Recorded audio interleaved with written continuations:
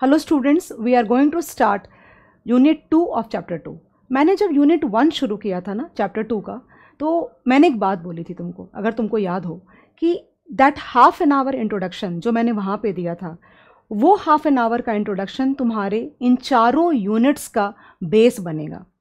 वो जो वोकेबलरी मैंने यूज़ करी थी वहाँ पे, कम से कम एट या टेन वोकेबलरी हर चैप्टर में तुमको मिल जाएगी। Because all the units in a particular chapter are very much related to each other कैसे होता है ना? पहले ओवरऑल एक बात करते हैं ओके okay? उसके बाद अपन एक एक पॉइंट को एक एक मुद्दे को उठा करके उसके प्रॉब्लम एरियाज़ के बारे में डिस्कस करते हैं और फिर उसके सोल्यूशंस के बारे में बात करते हैं। तो एक साथ सारी बातें अपन नहीं कर सकते हैं that is why we break them into pieces okay तो एक वर्ड तुम्हारे सामने वहाँ बार बार आया था, उसका नाम था market failure if you remember at all so where am I trying to focus? I am trying to focus on the fact that if you can control those 8 to 10 vocabularies which is used very frequently in that particular portion, they will become your keywords. Okay okay, और तुम्हारा पूरा का पूरा वो जो portion है तुम chapter बोलो यूनिट बोलो जो बोलना है बोलो तुम्हारा पूरा का पूरा वो वाला पार्ट उसी वर्ड्स के अराउंड उसी वोकेबलरी के अराउंड रिवॉल्व करेगा तो तुम्हें थोड़ी सी एफर्ट लेनी है और उन सारे आर्ट्स या दस जितने भी वोकेबलरी है, उस पर्टिकुलर चैप्टर के अंदर उसको कंट्रोल में लेना है। बिकॉज़ वो तुम्हारे कीवर्ड बनेंगे और तुमको उसको अंडरलाइन करना है, तुम्हारे मार्क्स उस पर ही सारे फोकस हो जाएँगे। जो when you write those vocabularies in the paper जो एग्जामिनर होता है ना, उसको पता चल जाता है कि भाई इसको आता है। Okay because he would not possibly I am not sure reading everything but as as a like as a as a subject like expert बोलो, जो बोलना है बोलो टीचर बोलो, जो बोलना है बोलो। मैं ना उन वर्ड्स को ढूंढती हूँ, जब मैं पेपर कभी चेक कर कोई बच्चा अगर मुझे बोला कि मैम, आप मेरा ये चेक कर दो तो मैं पूरा शायद नहीं पढ़ती। मैं उन वर्ड्स को ढूंढती हूँ, जो मुझे पता है कि अगर इस बच्चे को ये आंसर आता है तो वो ये वाले वर्ड ज़रूर लिखेगा। और अगर उसने नहीं लिखा है तो फिर मैं पूरा पढ़ना शुरू करती हूँ कि भाई क्यों नहीं लिखा है?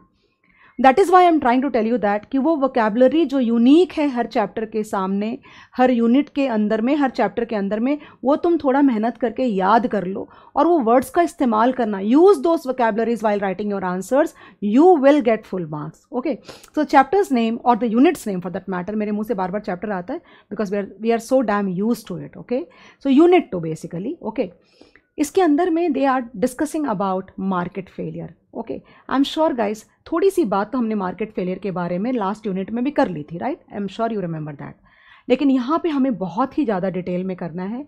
I think the unit runs in two like what twenty twenty two pages something like that maybe more than that I will try to reduce as much possible in terms of the notes which I which I am going to give you in the form of the book और P D F whatever like the mode that we are going to opt for और something like that उस पर नहीं आते, वो बाद में बात करेंगे. तो क्या होता है मार्केट फेलियर सबसे पहले उसके बारे में डिस्कस करते हैं। क्यों होता है मार्केट फेलियर फिर उसके ऊपर आएँगे। उसके बाद वाला जो यूनिट होगा, उसमें बात करेंगे रेक्टिफिकेशंस के बारे में।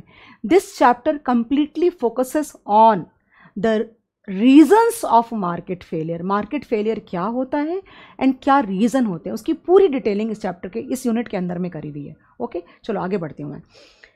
तो guess one thing we discussed in the last unit that markets are very very efficient okay if it all it is a perfectly competitive market okay क्या बात कर रहे हैं हम लोग? हम लोग बात कर रहे हैं कि allocation of resources should be efficient सबसे पहला सवाल दिमाग में आना चाहिए कि मैम, आप एफिशिएंट लोकेशन किसको बोलते हो?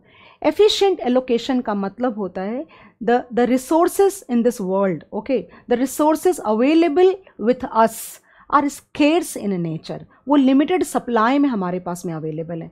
तो अगर हम if we do not use those scarce resources in an efficient manner then there will be a wastage अगर वेस्टेज होगा तो उसको बोला जाएगा suboptimal utilisation of the resources and it is not good from the economic and social point of view I'm sure you are smart enough to understand what exactly I'm trying to mean.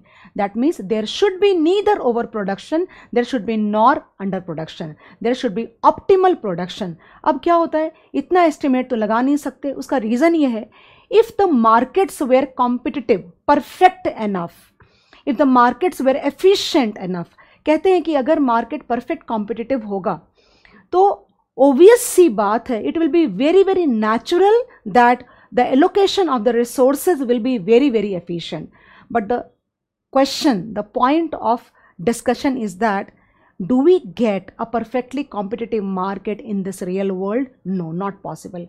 ये बात मैंने last topic के अंदर भी discuss करी थी कि क्यों नहीं परफेक्टली कॉम्पिटिटिव मार्केट पॉसिबल है? पॉसिबल नहीं है guys and I had told you from my side also कि क्योंकि factors of factors of production equally distributed नहीं है ओके okay? तो कैसे पॉसिबल हो सकता है? इस दुनिया में जो फैक्टर्स हैं, जो रिसोर्सेज हैं, वो एक इंसान या कुछ लोगों के, कुछ कुछ इंसानों के हाथ के कंट्रोल के अंदर में so how will you be able to achieve that perfect competition it is not possible to do that okay that's what my understanding से is okay so if the markets were perfectly competitive then definitely the allocation of resources would have been very very efficient and government को intervene करने की ज़रूरत नहीं पड़ती but because of various reasons because the prerequisites of a perfectly competitive market is not fulfilled okay and that leads to market failure here market failure means suboptimal utilization of the scarce resources okay that means either you are producing overproducing or you are underproducing Thereby leading to the wastage of the resources Re wastage of the resources means markets the market mechanism fails with respect to the allocation of the resources मैं repeat इसलिए कर रही हूँ ताकि तुम याद कर लो तुम्हें ज़्यादा मेहनत नहीं करनी पड़े ओके ये तो एक बात हो गई तुम्हारी दूसरी बात कि मैम किस तरह के फेलियर्स हो सकते हैं मार्केट में यू नो तो there are two types of failures मैं मैपिंग पे आऊँगी, बाद में, पहले मेरी बात तुमको पूरी सुननी पड़ेगी. There are two types of failures demand failure and supply failure क्या होता है? मतलब demand side market failure and supply side market failure क्या होता है डिमांड फेलियर आपने कोई एक ऐसी चीज़ प्रोड्यूस करी. You have produced something which you thought is valuable from the consumer point of view but actually it was not valuable okay that means you did not consider you did not consider the willingness or the desperation of the consumer towards buying that good for example मैं कोई product बनाती हूँ okay और मैं इस बात पे ध्यान नहीं देती फॉर एग्ज़ाम्पल अगर आ, मैं तुमको अपना ही एग्ज़ाम्पल देती हूँ अपन बाहर का एग्ज़ाम्पल क्यों दें फॉर एग्ज़ाम्पल कि मैंने एक प्रोडक्ट बनाया हुआ है सी ए फाइनल में उसका नाम है एस एफ़ एम एक्सप्रेस एक एग्ज़ाम्पल दे रही हूँ। अब देखना सब जा करके वहाँ पे गूगल करेंगे शायद। S F M express is a product way which is like which helps you revise whole of strategic financial management that is group one paper two group one paper two यानी twenty five hours में okay okay, तुम पूरा का पूरा S F M revise कर सकते हो। It is it has turn out to be a very very beautiful course actually मैंने मेहनत बहुत करी थी and somehow people have appreciated it a lot actually बच्चों को बहुत पसंद आया। और मैंने उसको फ्री यूट्यूब पे डाल दिया कोविड के समय because I thought many people would be able to utilise that okay तो अब मुझे एक बात बताओ तुम। अगर मैं उस चीज़ को अगर मैं उस चीज़ के पैसे मांगूँ तो कोई मुझे देगा क्या? नहीं देगा ना? क्यों नहीं देगा? क्योंकि वो बोलेंगे जब ये फ्री में अवेलेबल है तो मैं आपको पैसे क्यों दूँ? ओके okay, दूसरी बात। दूसरी बात सिमिलरली अगर कोई, जो जो जो एग्ज़ाम्पल इन्होंने बुक में दिया है ना, मैं वो भी कोट करूँगी बिकॉज़ अगर मैं वो कोट नहीं करूँगी, और तुम पहली बार जब वो एग्ज़ाम्पल देखोगे तो तुम्हें मज़ा नहीं आएगा पढ़ने का। तुम्हें लगेगा, अरे, कोई नई चीज़ मेरे सामने में आ गई। तो मैं ज़्यादा एग्जाम्पल्स कोट करूँगी। एक जो दिया हुआ है मॉड्यूल में, वो कोट करूँगी, और फिर अपनी तरफ़ से जो मुझे याद आएगा ऑन द स्पॉट वो भी कोट करूँगी। तो दे हैव गिवन दैट कि suppose there is a fountain वो फाउंटेन होता है ना तुम्हारे स्क्वेयर पे कोई फाउंटेन लगा हुआ रहता है, इसमें से पानी निकलता है ओके तो there is a fountain and if if somebody says that इसका तुमको पैसा देना पड़ेगा will you give that nobody will give that by when I can see that fountain, when I can consume the sight of that particular fountain for free. Why should I pay for that? That means आपने जब fountain बनाया तो आपने लोगों की जो desperation है उसको यूज़ करने की, वो आपने कंसिडर नहीं किया that means you have you have not use और allocated the resources properly that means जब मैंने एस एफ़ एम एक्सप्रेस को यूट्यूब पे फ्री में डाला तो मैंने ये ध्यान नहीं दिया कि अगर मैं वहाँ पे डाल दूँगी तो people would not be desperate enough to pay money are you getting the point that means अगर और तरीके से सुनना है तो वैसे सुनो।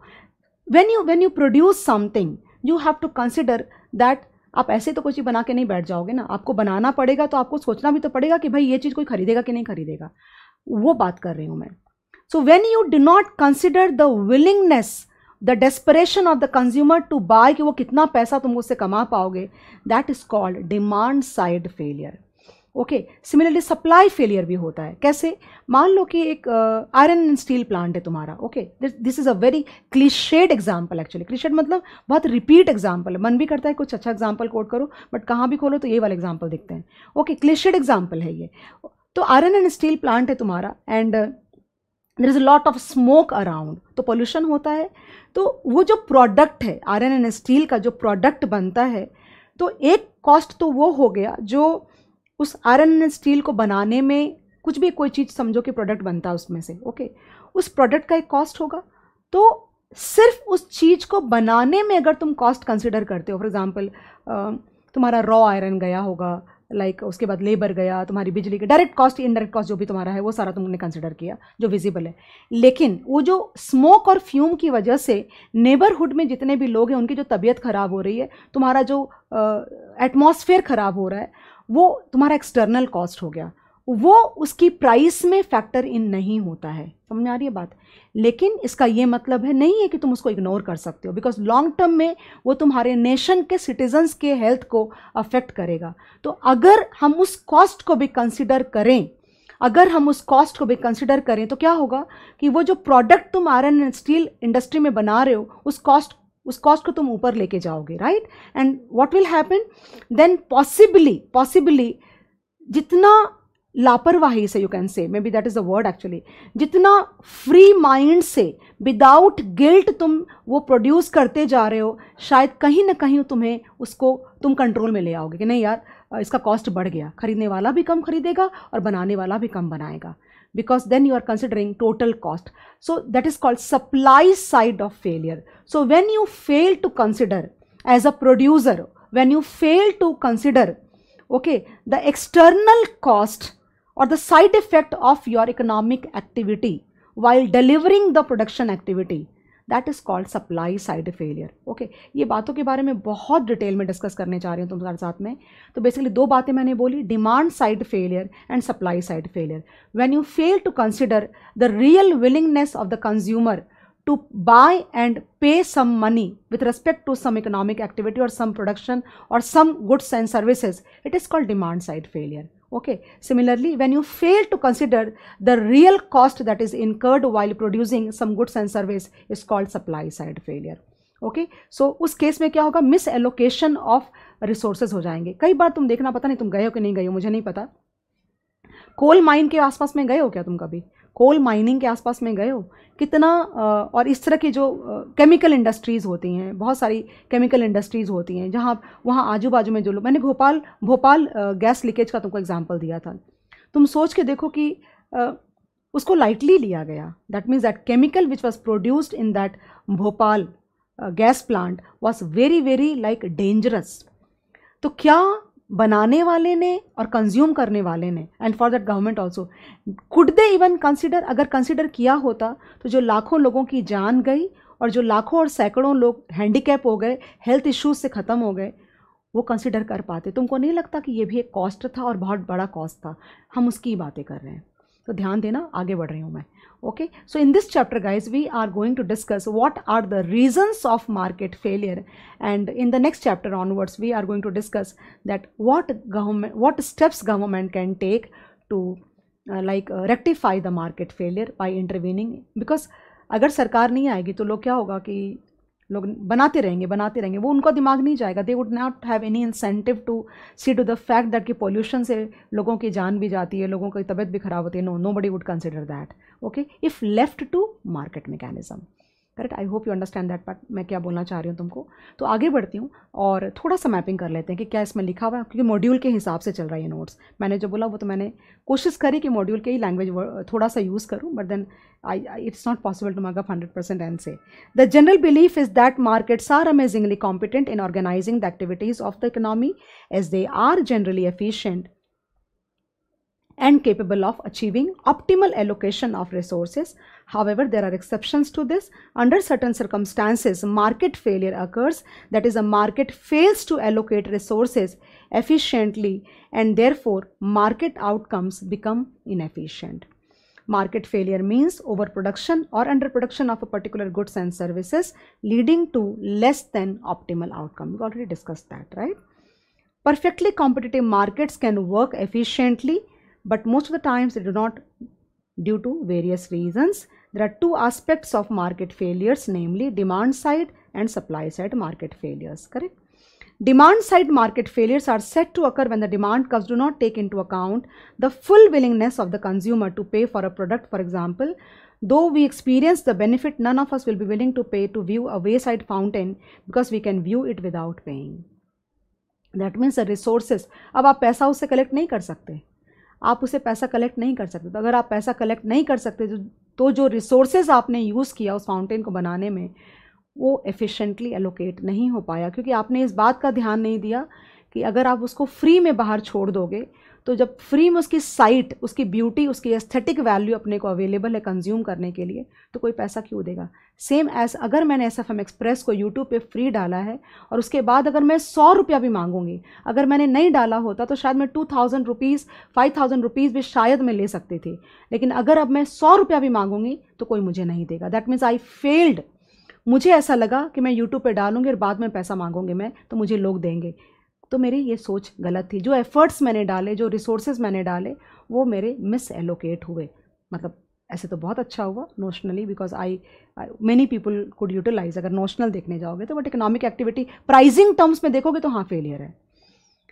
Supply side market failures happen when supply curves do not incorporate the full cost of producing the product for example a thermal power plant that uses coal may not have to include और pay completely for the cost to the society तुम्हें पता है एक बात कि एक ना आगे जाके टॉपिक आएगा, देखो दिखा हुआ लिखा हुआ एक्सटर्नलिटी इसमें ये बातें बहुत आने वाली है।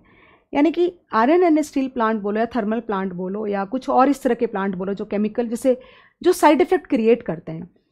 तो जिसको ये साइड इफ़ेक्ट होता है ना एक्सटर्नल तरीके से, इसलिए इसका नाम एक्सटर्नलिटी है। जो प्रोड्यूसर है, वो भी बेयर नहीं करता और जो कंज्यूमर है, वो भी बेयर नहीं करता। बेयर कौन करता है? कोई थर्ड पार्टी बेयर करता है। ओके तो वो थर्ड पार्टी को जो कॉस्ट इनकर करना पड़ता है। कोई अस्थमा पेशेंट है, कोई सिख है, कोई बच्चा है तो वो जो कॉस्ट बेयर करना पड़ता है the cost which is borne by the nation okay it is not borne by the immediate producer और द कंज्यूमर और the immediate parties involve in the transaction it is borne by a third party okay so that that is like उसको शायद हम, उसको शायद हम ये नहीं कर सकते। What do you say cost में उसको फैक्टर इन करना ही बहुत मुश्किल है। तो सरकार क्या कर सकती है भाई? लाइसेंस के पैसे मांग, आपको इस चीज़ का लाइसेंस लेना पड़ेगा ये काम करने के लिए। तो लाइसेंस के पैसे बहुत सारे सरकार मांगेगी। तो अगर सरकार लाइसेंस के बहुत सारे पैसे मांगेगी तो अल्टीमेटली तुम्हारा वो जो पर यूनिट कॉस्ट है लाइसेंस का, उसके अंदर इंक्लूड हो जाएगा। तो तुम्हारा पर यूनिट कॉस्ट तुम्हारा बढ़ जाएगा। अगर पर यूनिट कॉस्ट मैन्युफैक्चर करने का बढ़ेगा तो अल्टीमेटली तुम तो कंज्यूमर को पास ऑन करोगे। तो उसकी कंजम्पशन भी कम हो जाएगी। वो बातें कर रहे हैं लोग। Okay I hope you got the point why do markets fail तो इन्होंने चार रीज़न दिए हैं guys the pertinent question here is why do markets fail तो चार रीज़न दिए हैं. सबसे पहला रीज़न इन्होंने दिया है, यहाँ देखना तुम. ओके मार्केट पावर या monopoly monopolisation of the resources number two externalities okay ये बहुत इंपॉर्टेंट पॉइंट एक्सटर्नलिटी एग्ज़ाम के पॉइंट ऑफ़ व्यू से भी बहुत इंपॉर्टेंट है. Third public goods and fourth is incomplete information अभी हम दो पहले फोकस कर रहे हैं मार्केट पावर एंड एक्सटर्नलिटीज लंबा चलेगा, ध्यान देना ओके धीरे धीरे सुनो ना मार्केट पावर तुमको हमें कैसे पढ़ना ये चैप्टर पता है? कि जैसे मार्केट मोनोपोली से क्या होता है और and how monopoly would lead to the market failure ये दिमाग में मत भूलना। Don't lose track while studying that मुद्दा क्या था? मुद्दा ये था कि market mechanism is incompetent with respect to the allocation of resources. What are the reasons of market failure? These four. So, ये दिमाग में रखना कि इस चीज़ से मार्केट फेल कैसे करता है एंड किस तरह एलोकेशन नहीं हो पाती। वो दो सवाल का जवाब तुमको हर पॉइंट पे देना पड़ेगा। आई डोंट नो तुमको मेरी बात वरना तुम खो जाओगे थियोरी के अंदर में। इतनी सारी थियोरी है। सबसे पहला पॉइंट ले रही हूँ मार्केट पावर मैपिंग बाद में करेंगे। ओके मार्केट पावर क्या होता है? मतलब मार्केट पावर की वजह से मिस एलोकेशन कैसे होता है वो बता रही हूँ। What is market power market power is control of resources by a single person और a group of people okay so उससे how does it affect you how does it affect the optimal allocation of the resources if there is a monopolisation of some resource in the economy okay on some goods and services what will happen the the monopolistic power will try to control the supply and the prices actually. Okay okay, तुम बोलोगे ma'am इसमें क्या दिक्कत है? दिक्कत है इसके अंदर में। द द जो आदमी के पास में मोनोपोली होगी ना जो आदमी के पास मोनोपोली होगी वो अपनी मर्ज़ी के हिसाब से प्राइजिंग को अपने मार्जिनल जो नॉर्मल प्रॉफिट होती है उसे बहुत ऊपर लेके जा सकता है। ओके वो चाहेगा तो। वो प्राइस अदरवाइज़ एक परफेक्टली कॉम्पिटेटिव मार्केट में नहीं होता। अगर तुम परफेक्ट कंपटीशन अलाउ करते मार्केट में उस गुड्स और सर्विस को लेकर के तो प्राइस वो नहीं होती, उससे नीचे होती, मेरे कहने का मतलब है। एंड द आउट आउटपुट को जानबूझ के कम करेगा। The output the supply of that particular goods and service would be intentionally reduced and the prices would be increased. Because, why is it possible? Because he has got a monopoly power on the supply of such goods and service. so what happens from the social point of view, what happens? A person has to pay relatively higher price and the society gets a lesser supply of goods and service which otherwise would not have been the case if there was a perfect competition for with respect to that particular goods and service in the market. समझ आ रही है बात क्या हो रहा है मतलब क्या हुआ कि अब एक एग्जाम्पल बोलते हैं सपोज़ ऑयल की बात करते हैं राइट right? तुम्हारा जो क्रूड होता है। If you talk about crude there is a cartel which is called OPEC oil producing countries okay so they intentionally control the supply of the crude oil across the world and as per their wish as per their profit margin that they want to make they can they can twist क्या करेंगे वो लोग? Supply को कम कर देंगे और price को बढ़ा देंगे। अब ऑयल इतनी एक एसेंशियल चीज़ है अक्रॉस द वर्ल्ड तुमको पता है, पूरी इकोनॉमी के अंदर में वर्ल्ड इकोनॉमीज़ की इन्फ्लेशन की रेट इंटरेस्ट की रेट सब कुछ क्रूड से ड्राइव होता है। सब कुछ क्या बिना एनर्जी के क्या कर लोगे तुम ज़िंदगी के अंदर में? तुम्हारे जितने भी पावर प्लांट्स होते हैं, जितने तुम्हारे, जितने भी तुम्हारी ट्रांसपोर्टेशन होता है, किसी भी तरह का तुम ट्रांसपोर्टेशन ले लो right from like scooter to aeroplane everything requires petroleum right जितनी तुम्हारी इंडस्ट्रीज़ होती हैं, घर में हम you know kind of we use L P G you know kind of तुम जो गैस यूज़ करते हो कंजम्पशन के लिए, कुछ भी तुमने हम नहीं, हम कुछ भी यूज़ नहीं कर सकते एक्चुअली बिना पेट्रोल बिना क्रूड के हम, हमारी लाइफ बिल्कुल ऐसे हॉल्ट पे आ जाती है। या ऑफ़ लेट अभी इन दिनों में क्रूड की जो इम्पोर्टेंस है वो धीरे धीरे कम हो रही है बिकॉज़ सोलर एनर्जी पे बहुत ज़्यादा लोगों का फोकस जा रहा है and it is one of the most upcoming industry in terms of the business also actually and there is a lot of development on the nuclear side also so that our dependence on the crude with respect to the energy requirement is relatively reduced. But yet we are a lot as a, as a world whole of us all the people are dependent on crude. But there are only few countries in this world who control these resources. Okay agar agar ye चीज़ नहीं होती अगर monopoly उनकी नहीं होती तो हमें शायद क्रूड के जो हाई प्राइसेस पर लीटर पेट्रोल के डीजल के इतने पे करने पड़ते हैं वो हमें अदरवाइज़ नहीं इतने पे करने पड़ते। एंड द रिसोर्सेज अवेलेबल जो हैं नेचर के थ्रू ओके okay, वो थोड़े ज़्यादा एफिशिएंटली एलोकेट होते across the world among the citizens of every country I hope you can relate that and because of that the allocation cannot happen properly the way it should be actually. So one of the reasons of market mechanism failure is market power or monopoly of few goods and services in the hands of one person or a group of people.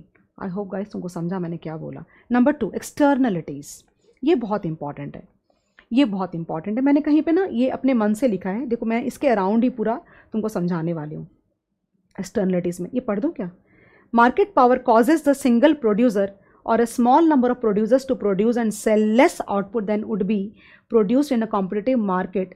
मतलब उस चीज़ में अगर monopoly नहीं हो करके perfect competition होता तो चीज़ें कुछ और होती।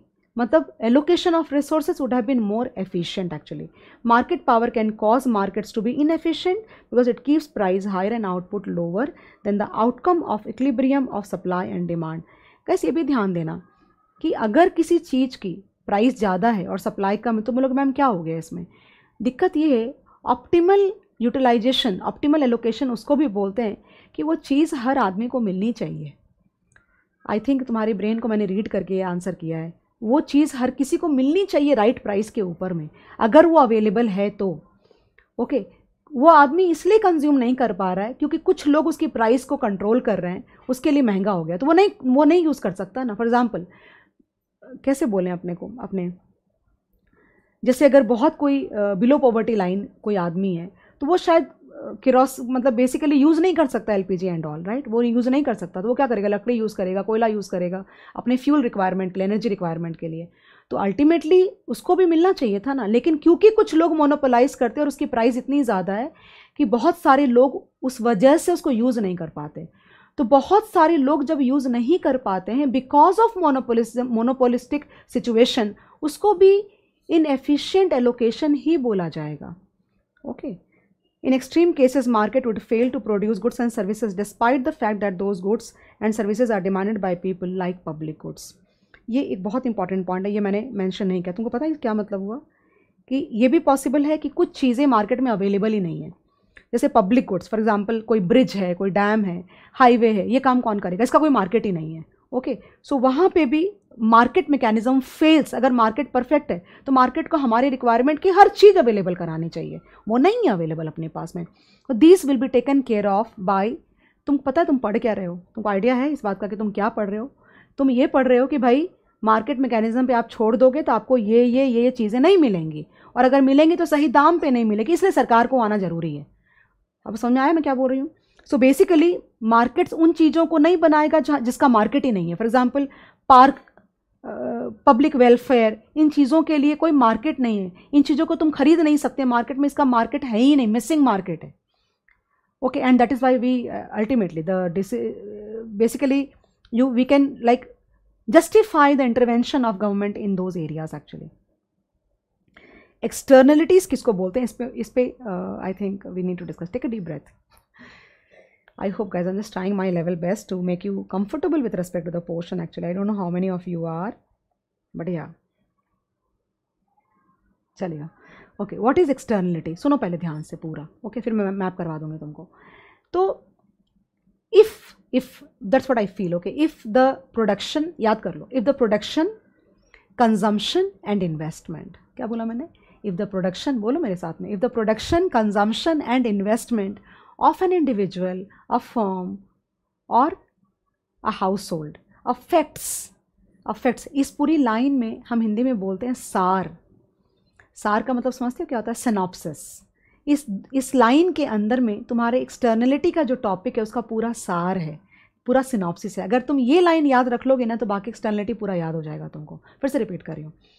If If the consumption if the investment if the if the consumption investment and production या फिर if the production consumption and investment of an individual a household और a firm affects the production, consumption, or investment of some other individual, household, or a firm, then it is called externality. नहीं समझा तुमको मुझे पता है नहीं समझा तुमको बेसिकली इसका मतलब ये होता है कि हम कुछ भी करते हैं ओके okay, इसको टेक्निकल लेवल पे भी लेके जाना पड़ेगा।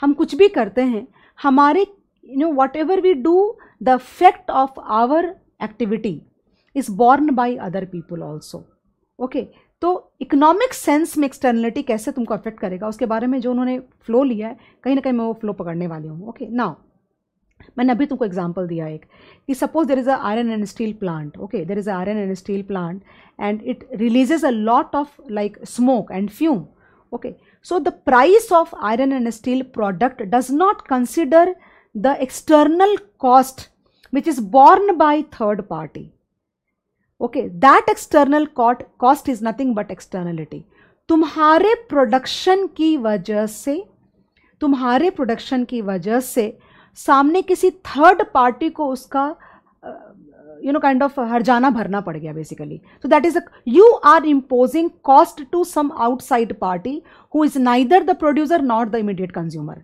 that is called externality so basically ये लोग ये बोलते हैं कि अगर आप उस कॉस्ट को, मैं उस पूरे चैप्टर का तुमको ना कंक्लूजन बता रही हूँ, वो लोग मतलब एक्सटर्नलिटी का कंक्लूजन बता रही हूँ कि भाई अगर आप उस कॉस्ट को कंसिडर नहीं करोगे तो बनाने वाला तो बेइंतहा बनाता ही चला जाएगा ना। वो क्यों दिमाग लगाएगा? उसको गिल्ट भी नहीं आ रही और ना ही उसको इंसेंटिव हो रही है, अगर कोई उसको रोकने वाला नहीं है तो। तो आप उस कॉस्ट को कंसिडर करो। अगर आप उस कॉस्ट को कंसिडर करोगे तो हो सकता है कि सामने वाले का कॉस्ट बढ़ेगा तो वो प्राइसिंग में फैक्टर इन करेगा। प्राइस बढ़ेगी तो सामने कंज्यूमर डिमांड कम करेगा और ये सामने वाला बनाने वाला कम बनाएगा। तो वो प्रॉपर हो जाएगा। वरना you would be like if you are not considering that that means the cost जो होना चाहिए, वो नहीं हो रहा है। और सामने वाला मिस यूज़ कर रहा है रिसोर्सेज को, वो पढ़ाई चल रही है। तो कहीं नहीं, कहीं it's a lot of like what do say ऐसा दिमाग में एक्सेप्ट करने में थोड़ा समय लगे बट हो जाएगा अल्टीमेटली जा करके। There is a lot of notional stuff actually दिमाग के अंदर में। Okay coming back to the topic actually here now so basically guys so what was I discussing that कि आप जो भी काम करते हो, आप प्रोडक्शन करते हो या कंजम्पशन करते हो अगर इसका कोई भी बाहर इफ़ेक्ट नहीं होता है तो वो अच्छी बात होती है। लेकिन अगर उसका इफ़ेक्ट होता है तो वो कॉस्ट या बेनिफिट भी हो सकता है। कॉस्ट या बेनिफिट भी, ऐसा नहीं कि जब आप कोई एक्टिविटी करते हो तो सामने सिर्फ़ कॉस्ट ही आप थर्ड पार्टी को ट्रांसफ़र करते हो। नहीं, आप बेनिफिट्स भी ट्रांसफ़र करते हो। आगे जाके बात करूँगे। उसको अपन बोलते हैं एक्सटर्नलिटी तो मैं एग्ज़ाम्पल पे आ रही थी एक्चुअली सपोज़ करो फॉर एग्ज़ाम्पल यू नो जो एग्ज़ाम्पल उन्होंने दिया, वो दे रही हूँ, एक और दे दूँगी। तो उन्होंने क्या बोला एग्ज़ाम्पल में कि सपोज़ फॉर एग्ज़ाम्पल कि kind of because of the health fads what is health fads fashion में कुछ कुछ चीज़ें आती है okay we should consume organic vegetables okay so people across the country started demanding organic vegetables and the prices of the organic vegetables are relatively on a higher side in comparison to the simple vegetables okay जो normal तो organic vegetables क्या होता है भाई? उसके अंदर pesticide नहीं होगा, उसके अंदर में आर्टिफिशियल फर्टिलाइजर्स नहीं होंगे and all that and because of the health values उसकी प्राइसेस बिकॉज़ आपको उसको प्रोड्यूस करने में आपको खर्चा ज़्यादा करना पड़ता है। अब that is why the cost is relatively higher तो कुछ लोग जैसे गाँव वगैरह में you know kind villages and all में तो नेचुरली ऑर्गेनिक वेजिटेबल्स ही कंज्यूम कर रहे थे। But because of the health fads fads का मतलब होता है फ़ैशन हेल्थ फैट्स की वजह से when the demand of organic vegetables increase across the country what will happen the cost of organic vegetables will increase for for people who were already consuming the organic vegetables okay तो ये ये externality नहीं है। ये externality नहीं है ये बोलना मैं चाह रही थी तुमको एक्चुअली बहुत देर से और मैं लूज़ आउट कर रही थी। क्यों एक्सटर्नलिटी नहीं है? क्योंकि ये ये जो डिमांड है, ये जो विलिंगनेस है सामने कंज्यूमर की देने की, भाई, कि नहीं नहीं, जो भी पैसा होगा, मैं तो देने को तैयार हूँ। यानी कि उस विलिंगनेस टू कंज्यूम को तुम डिमांड कर्व के अंदर में इनबिल्ट कर सकते हो। I hope get the point कैसे करोगे? आप प्राइस बढ़ा दो। यानी कि इस पूरी सिचुएशन को हम मार्केट मैकेनिज्म के अंदर में ला सकते हैं। ओके सामने वाला कंजम्पशन जो करने वाला है, वो बोलता है कि भाई, मैं रेडी हूँ ज़्यादा पैसा देने को तो वो ज़्यादा डिमांड करेगा। तो जो प्रोड्यूसर है, वो बोले वो दाम दाम बढ़ा सकता है। तो इस पूरी चीज़ को प्राइजिंग मैकेनिज्म के अंदर में या मार्केट मैकेनिज्म के अंदर में तुम फैक्टर इन कर सकते हो। That means the example which I gave to you the example which I gave to you और similar situation for that matter it is easy to manage. Why? The the prices reflect. The prices reflect the full market information to the producer and to the consumer also. कोई side effect नहीं ऐसा नहीं कुछ दाएँ बाएँ से हम cost या बेनिफिट पास ऑन कर रहे हैं। नहीं। यानी कि प्रोड्यूसर को लग रहा है मार्जिन ज़्यादा है, वो ज़्यादा प्रोड्यूस करेगा। कंज्यूमर को पता है कि मुझे ज़्यादा देना पड़ेगा। अगर उसको चाहिए होगा तो वो देगा। That means the willingness of the consumer can be factored into the market mechanism okay and that is why this is not an externality but the problem of external cost externality is that it cannot be brought or it cannot be factored into the market pricing mechanism मतलब कहने का ये हो रहा है कि जो तुम्हारा पावर जो तुम्हारा प्लांट है थर्मल प्लांट है या आयरन स्टील प्लांट है जो स्मोक या फ्यूम वो रिलीज़ करता है और जिसकी वजह से कोई थर्ड पार्टी जो कि ना प्रोड्यूसर है ना ना कि जो कंज्यूमर है तो उनकी जो हेल्थ ख़राब होती है एनवायरनमेंट गंदा होता है पोल्यूशन होता है लॉन्ग टर्म आने वाले पचास सालों के बाद ओजोन लेयर कम हो जाएगा, वो सारे चीज़ों का जो कॉस्ट है, जिसको हम एक्सटर्नल कॉस्ट बोलते हैं इकोनॉमिक्स के अंदर में, वो जो गुड्स एंड सर्विस की प्राइस थी, उसके अंदर वो फैक्टर इन नहीं करी जा सकती। मैं ये बोलना चाह रही हूँ तुमको। And that is called externality Are you getting the point what I'm trying to say? So the unique feature, the unique feature of externality is that सुनना ध्यान से ये बहुत इंपॉर्टेंट बोल रही हूँ the unique feature of externality is that you can not you can not factor in that external cost in the normal price mechanism okay and that is why you cannot ask for a compensation from the people who have initiated it. Are you getting the point? And that is why जो third party है, वो producer या consumer से compensation नहीं मांग सकते। Because उसको उसको प्राइस करना ही बहुत मुश्किल है। I think you got the point right तो guys there are many things we just just just like try to मैं तुमको थोड़ा पॉइंट मतलब मैं रीड क्यों करने लग जाती हूँ? बिकॉज़ आई थिंक तुमको एक ब्रीदर मिल जाएगा। Okay so I read read whatever is written so that it becomes easy for you there are differences between private returns और cost and the cost or returns to society as a whole. Consumption, production, and investment decisions of individuals, households, and firms often affect people not directly involved in the transactions. Sometimes these indirect effects are tiny, but when they are large, they can become problematic. What economists called externalities. तो जो example हम लोग use कर रहे हैं वो तो कोई छोटा नहीं है it is like huge actually इसलिए गाइस पता है जितने भी ये सारे इंडस्ट्रीज़ uh, होते हैं इतना सारा I am sure you'd have heard of कि Ganga Ganga pollution of Ganga got polluted Yamuna got polluted Delhi में, आगरा में इतनी इतनी पॉल्यूशन है। तुमको पता होना चाहिए कि दिल्ली, आगरा और कानपुर के आसपास में there are lots of like leather industries are you aware of that I am sure you should know that कि कानपुर में एक मेजर लेदर लेदर इंडस्ट्री है। लेदर मतलब I hope understand all the bags and the chappals and everything you know kind of shoes and everything are done there and belts and everything okay so leather का जो treatment होता है ना, वो बहुत ज़्यादा ही केमिकल ओरिएंटेड होता है। और वो पूरा का पूरा जो वेस्ट है, वो यमुना में डाल दिया जाता है। ओके अब तुम सोच के देखो कि कितने सारे लोग उस उस तुम्हारे रिवर का पानी पीते हैं कंज्यूम करते हैं, वहाँ जो रहने वाले लोग हैं तो वो कितना हार्मफुल होता होगा। उसके बाद जो जो एक्वेटिक एनिमल्स होते हैं लाइक उसके अंदर जो तुम्हारे एक्वा एनिमल्स तुम बोल सकते हो फॉर ईजियर थिंग वो सारे तुम्हारा जो फ्लोरा है, तुम्हारा जो फ्लोरा एंड फाउना है तुम्हारे रिवर के अंदर का तुमको समझता है फ्लोरा एंड फाउना एक नेचुरल एनवायरनमेंट होता है पानी के, पानी का अपना, वो भी स्पॉइल हो जाता है। तो वो सारी चीज़ों को आज तुम्हें शायद हमें पता नहीं चल रहा है बट धीरे धीरे धीरे करके तो अल्टीमेटली कहीं ना कहीं ये ये एक बड़ा प्रॉब्लम बनेगा, या बन चुका है इनफैक्ट ओके okay? हम इतने एयर कंडीशनर्स चलाते हैं तो I am sure you know that like using too much of air conditioners like is depleting our ozone layer तो कहने कहने, कहीं ना कहीं पानी इतना चलो छोड़ो सारी चीज़ें, बातें छोड़ते हैं हम। There is a lot of shortage of water across the world why we are overusing it we are overusing can you can you see the big swimming pools every building has got? Can you imagine the kind of water we use the kind of sanitary system that we use as of today? It consumes a huge amount of water.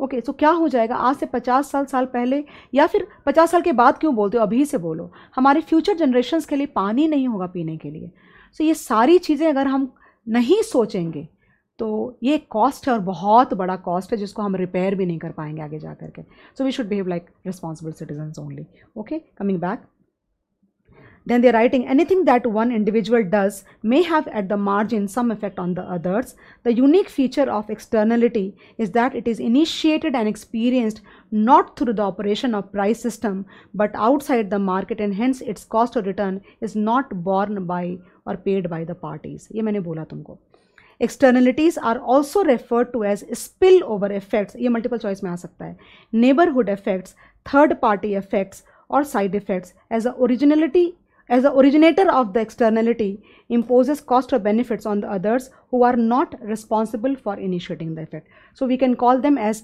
spillover effect or neighborhood effect or side effect. Why? Because जिन लोगों को ये cost bear करना पड़ता है they are not the initiators. So and again going further और आगे बढ़ रहे हूँ So externality can be reciprocal or it can be unilateral. Unilateral. Unilateral मतलब मैं तुम पे कॉस्ट या बेनिफिट कन्फर कर रही हूँ। मैं तुम पे कॉस्ट कॉस्ट इम्पोज कर रही हूँ या बेनिफिट तुम पे कन्फर कर रहे हैं। I lost the word okay तो एक ही तरफ़ से चल रहा है। या फिर हम दोनों एक दूसरे को uh, या तो मेरी वजह से तुम कॉस्ट बेयर कर रहे हो तुम्हारी वजह से मैं कॉस्ट बेयर कर रही हूँ या फिर मेरी वजह से तुम बेनिफिट एंजॉय कर रहे हो या फिर तुम्हारी वजह से मैं बेनिफिट एंजॉय कर रही हूँ। तो अगर ये वन वे होगा तो यूनिडायरेक्शनल हो गया, और अगर टू वे होगा तो इसको बोला जाएगा रेसिप्रोकल एग्ज़ाम्पल सुनना।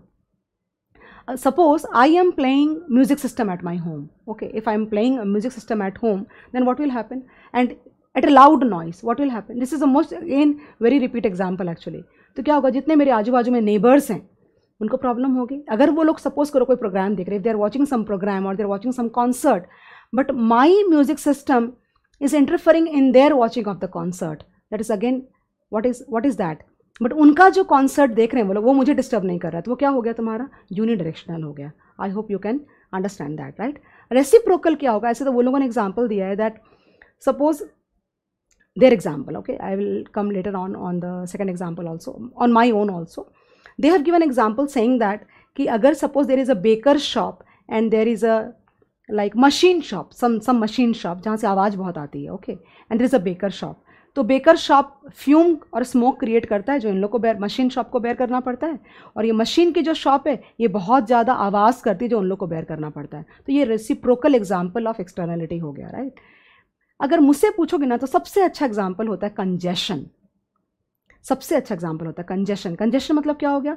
सपोज़ कि तुम तुम मेरी मेरी जो लिविंग रूम है, मेरी लिविंग रूम के सामने में तुम्हारा, तुम्हारी घर की खिड़की खुलती है ओके और उधर बहुत अच्छी व्यू थी, लेकिन तुम्हारा घर होने की वजह से मैं वो व्यू नहीं देख पा रही हूँ, और मेरा घर होने की वजह से तुम व्यू नहीं देख पा रहे हो।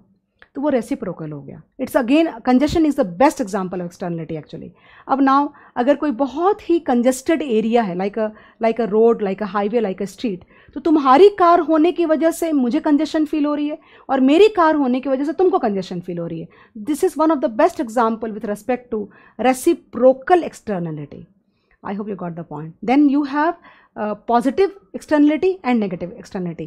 Usually अगर तुम मुझसे पूछोगे तो पॉजिटिव एक्सटर्नलिटी के बारे में तो बात भी नहीं करते। ये नेगेटिव एक्सटर्नलिटी के बारे में ही हम बात करते हैं। So positive and negative externality can be divided into four categories negative production externality then positive production externality then negative consumption externality and positive consumption externality ये मैं पूरा पहले डिस्कस करूँगी फिर मैं मैप करूँगी बिकॉज़ एग्ज़ाम्पल से कुछ नहीं है।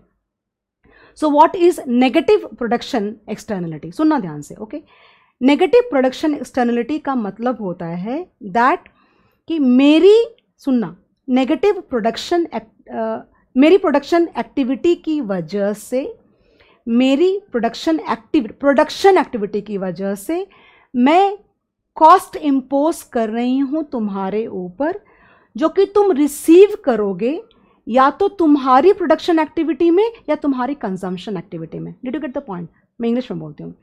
A negative production externality means when my production activity imposes cost, only cost na imposes cost and you receive that either in terms of your consumption negatively और इन cost जब बोल दिया तो नेगेटिव हो ही गया वो। And you receive either in terms of your consumption और in terms of your production getting the point example दूँगी, तुरंत समझ जाओगे।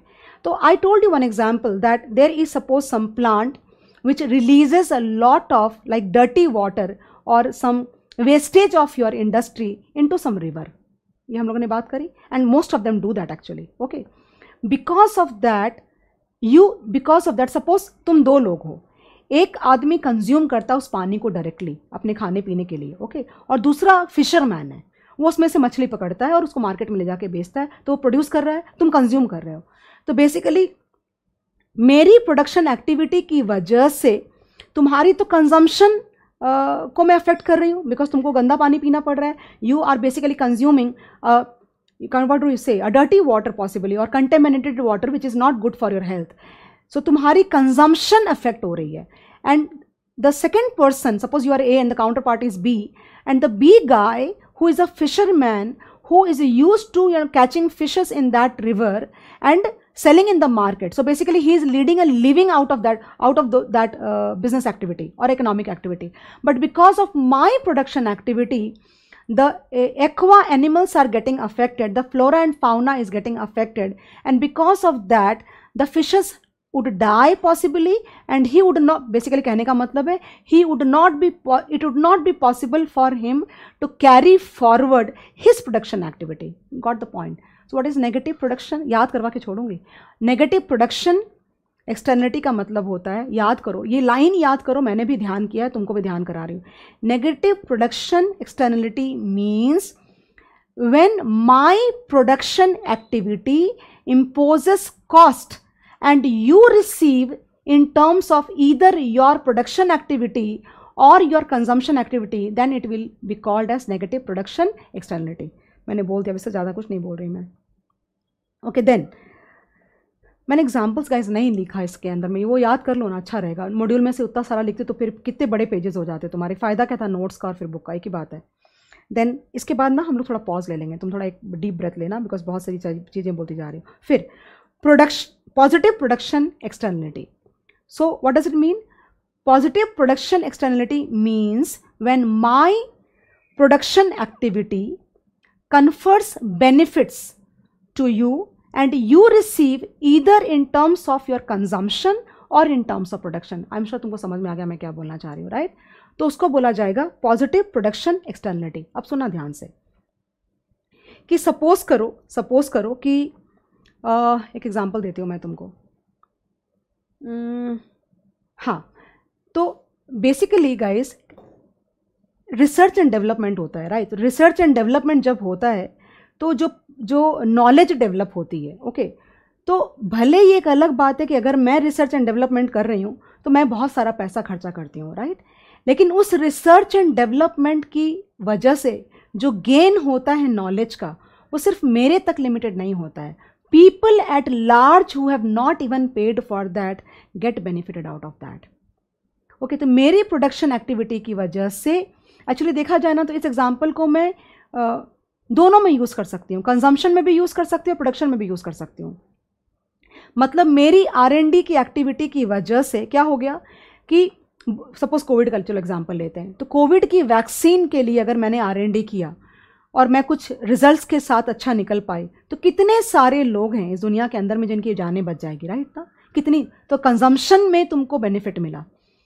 और मेरी आर एन डी की वजह से जो दूसरी कंपनीज़ हैं, उनको भी तो फ़ायदा होगा। उस उस उस नॉलेज को जब मैं उनके साथ शेयर करूँगी तो उनको प्रोडक्शन में फ़ायदा होगा।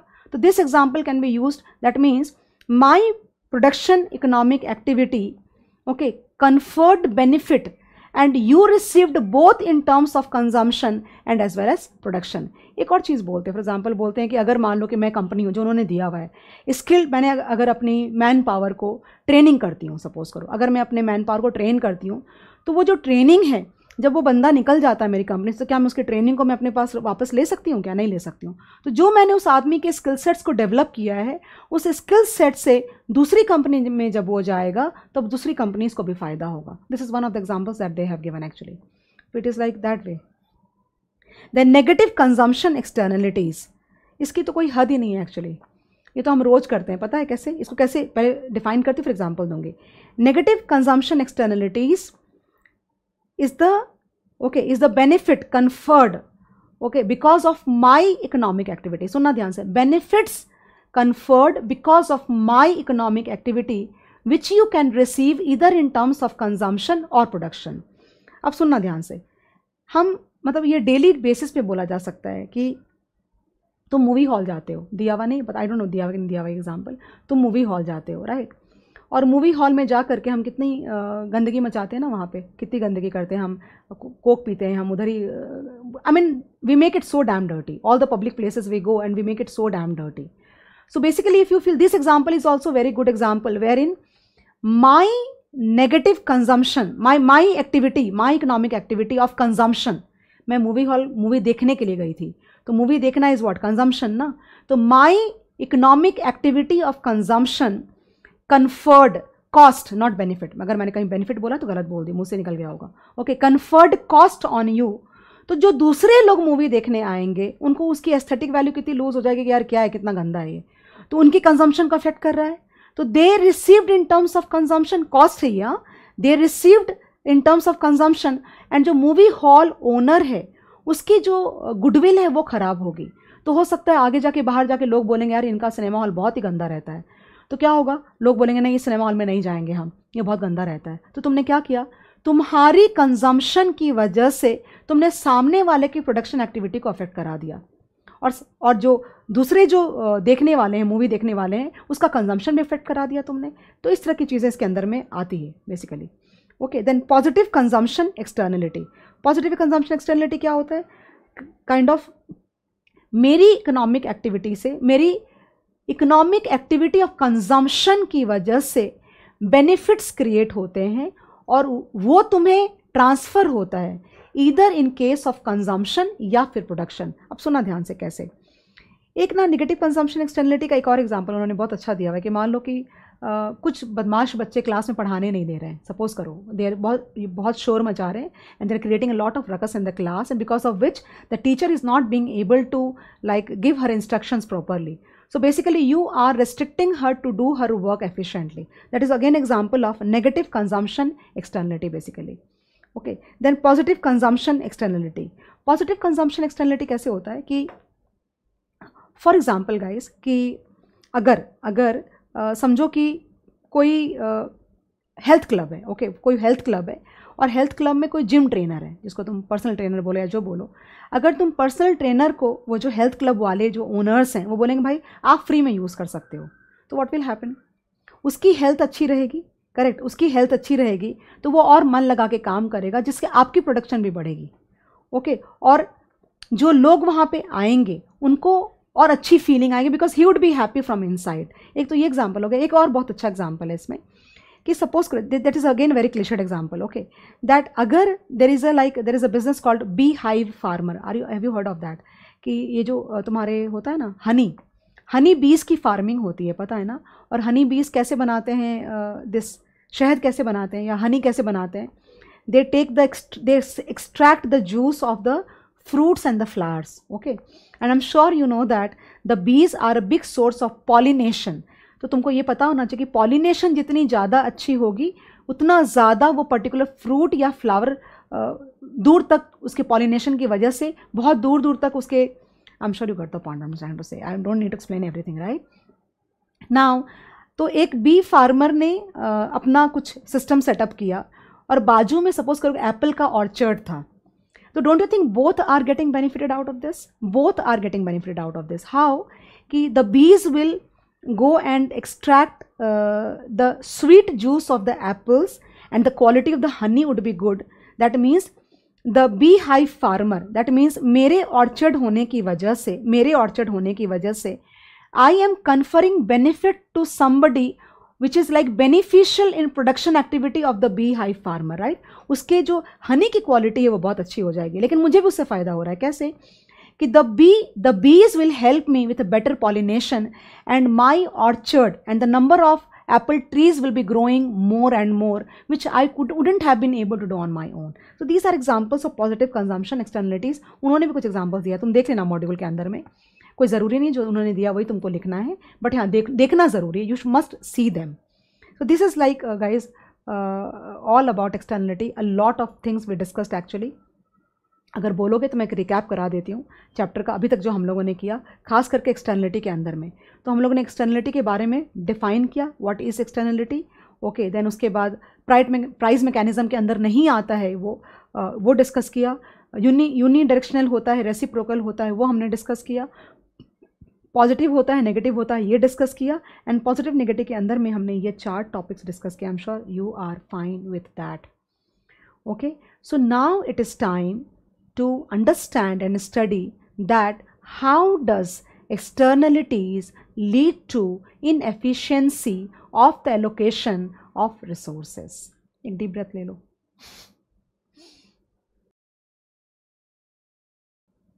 okay ready so we were discussing that how externality leads to inefficiency in the allocation of the resources मैंने जब शुरू किया ये चैप्टर तो तुमको एक बात मैंने बोली कि तुम्हें इस चैप्टर के अंदर में रादर बहुत सारे चैप्टर्स के अंदर में लॉस्ट की फीलिंग आएगी। क्या पढ़ रहे थे? कहाँ जा रहे हैं? मतलब you will just lose out the track बहुत ज़्यादा पॉसिबल है। तो बार बार अपने आप को ये याद दिलाते रहो कि क्या चैप्टर का नाम क्या था, क्या पढ़ना था और हमें कहाँ पहुँचना है। तो अगर मैं इस चैप्टर की बात करूँ मार्केट फेलियर की बात करें तो हम ये बात कर रहे थे कि टॉपिक क्या चल रहा है? एलोकेशन ऑफ़ रिसोर्सेज एफिशिएंटली तो मार्केट मैकेनिज्म ये काम करने में फेल है। क्यों? इसके फोर फैक्टर्स मैंने तुमको बताए ओके उसमें से अपना सेकेंड वाला फैक्टर चल रहा है और वो है एक्सटर्नलिटीज़ ओके तो अब तक जो अपने लोगों ने डिस्कस किया एक्सटर्नलिटीज़ के बारे में डिस्कस किया कि भाई उससे क्या होता है, क्या प्रॉब्लम होती है ऑल दैट ओके अब ये डिस्कस करने वाले हैं कि that how externality would lead to inefficiency in the allocation of the resources तो एक चीज़ मैंने और बोली थी तुमको थोड़ी देर पहले कि जैसे मोनोपोली के बारे में जब बात कर रहे थे, सुनो ध्यान से, जितना सुनोगे उतना याद हो जाएगा पोर्शन तुमको राइट तो जब मैं मोनोपोली के बारे में बात कर रही थी तो मैंने तुमको ये बोला कि तुम ये सोच सकते हो कि अगर वो लोग, वो जो मोनोपोलिस्टिक पावर हैं इकोनॉमी के अंदर में, जो मोनोपोली करता है क्रिएट करता है if those people are selling less products at a higher price तो इसमें गलत क्या है? अच्छा ही तो है रिसोर्सेज कम यूज़ हो रहे हैं। तुम ऐसे भी सोच सकते हो। बट गाइज़ मैंने तुमको उसी समय एक बात और बोली कि एफिशिएंसी इन एलोकेशन का ये मतलब नहीं है कि ज़्यादा दाम और कम सप्लाई नहीं, इसका ये मतलब नहीं है। इसका ये भी मतलब है प्रॉपर दाम, उचित दाम पे सबको मिलना भी चाहिए। सिर्फ़ उन लोगों को नहीं मिलना चाहिए जिनके पास पैसे ज़्यादा हैं पे करने के लिए। That is again a market failure actually that is again a market failure यानी कि कुछ लोग उसको मोनोपोलाइज करके बैठेंगे और जिन लोगों के पास में इनकम ज़्यादा है वो लोग खरीदेंगे। This is not efficiency this is failure of the market to allocate the goods and services on a equitable basis socially optimal output ये एक जार्गन एक वोकेबलरी है। इसका ये मतलब होता है कि सोसाइटी में प्रॉपरली अगर वो रिसोर्स अवेलेबल है तो उसमें से थोड़ा थोड़ा सबको मिलना चाहिए और उसकी प्राइस भी प्रॉपर होनी चाहिए। इसको एफिशिएंसी बोलेंगे।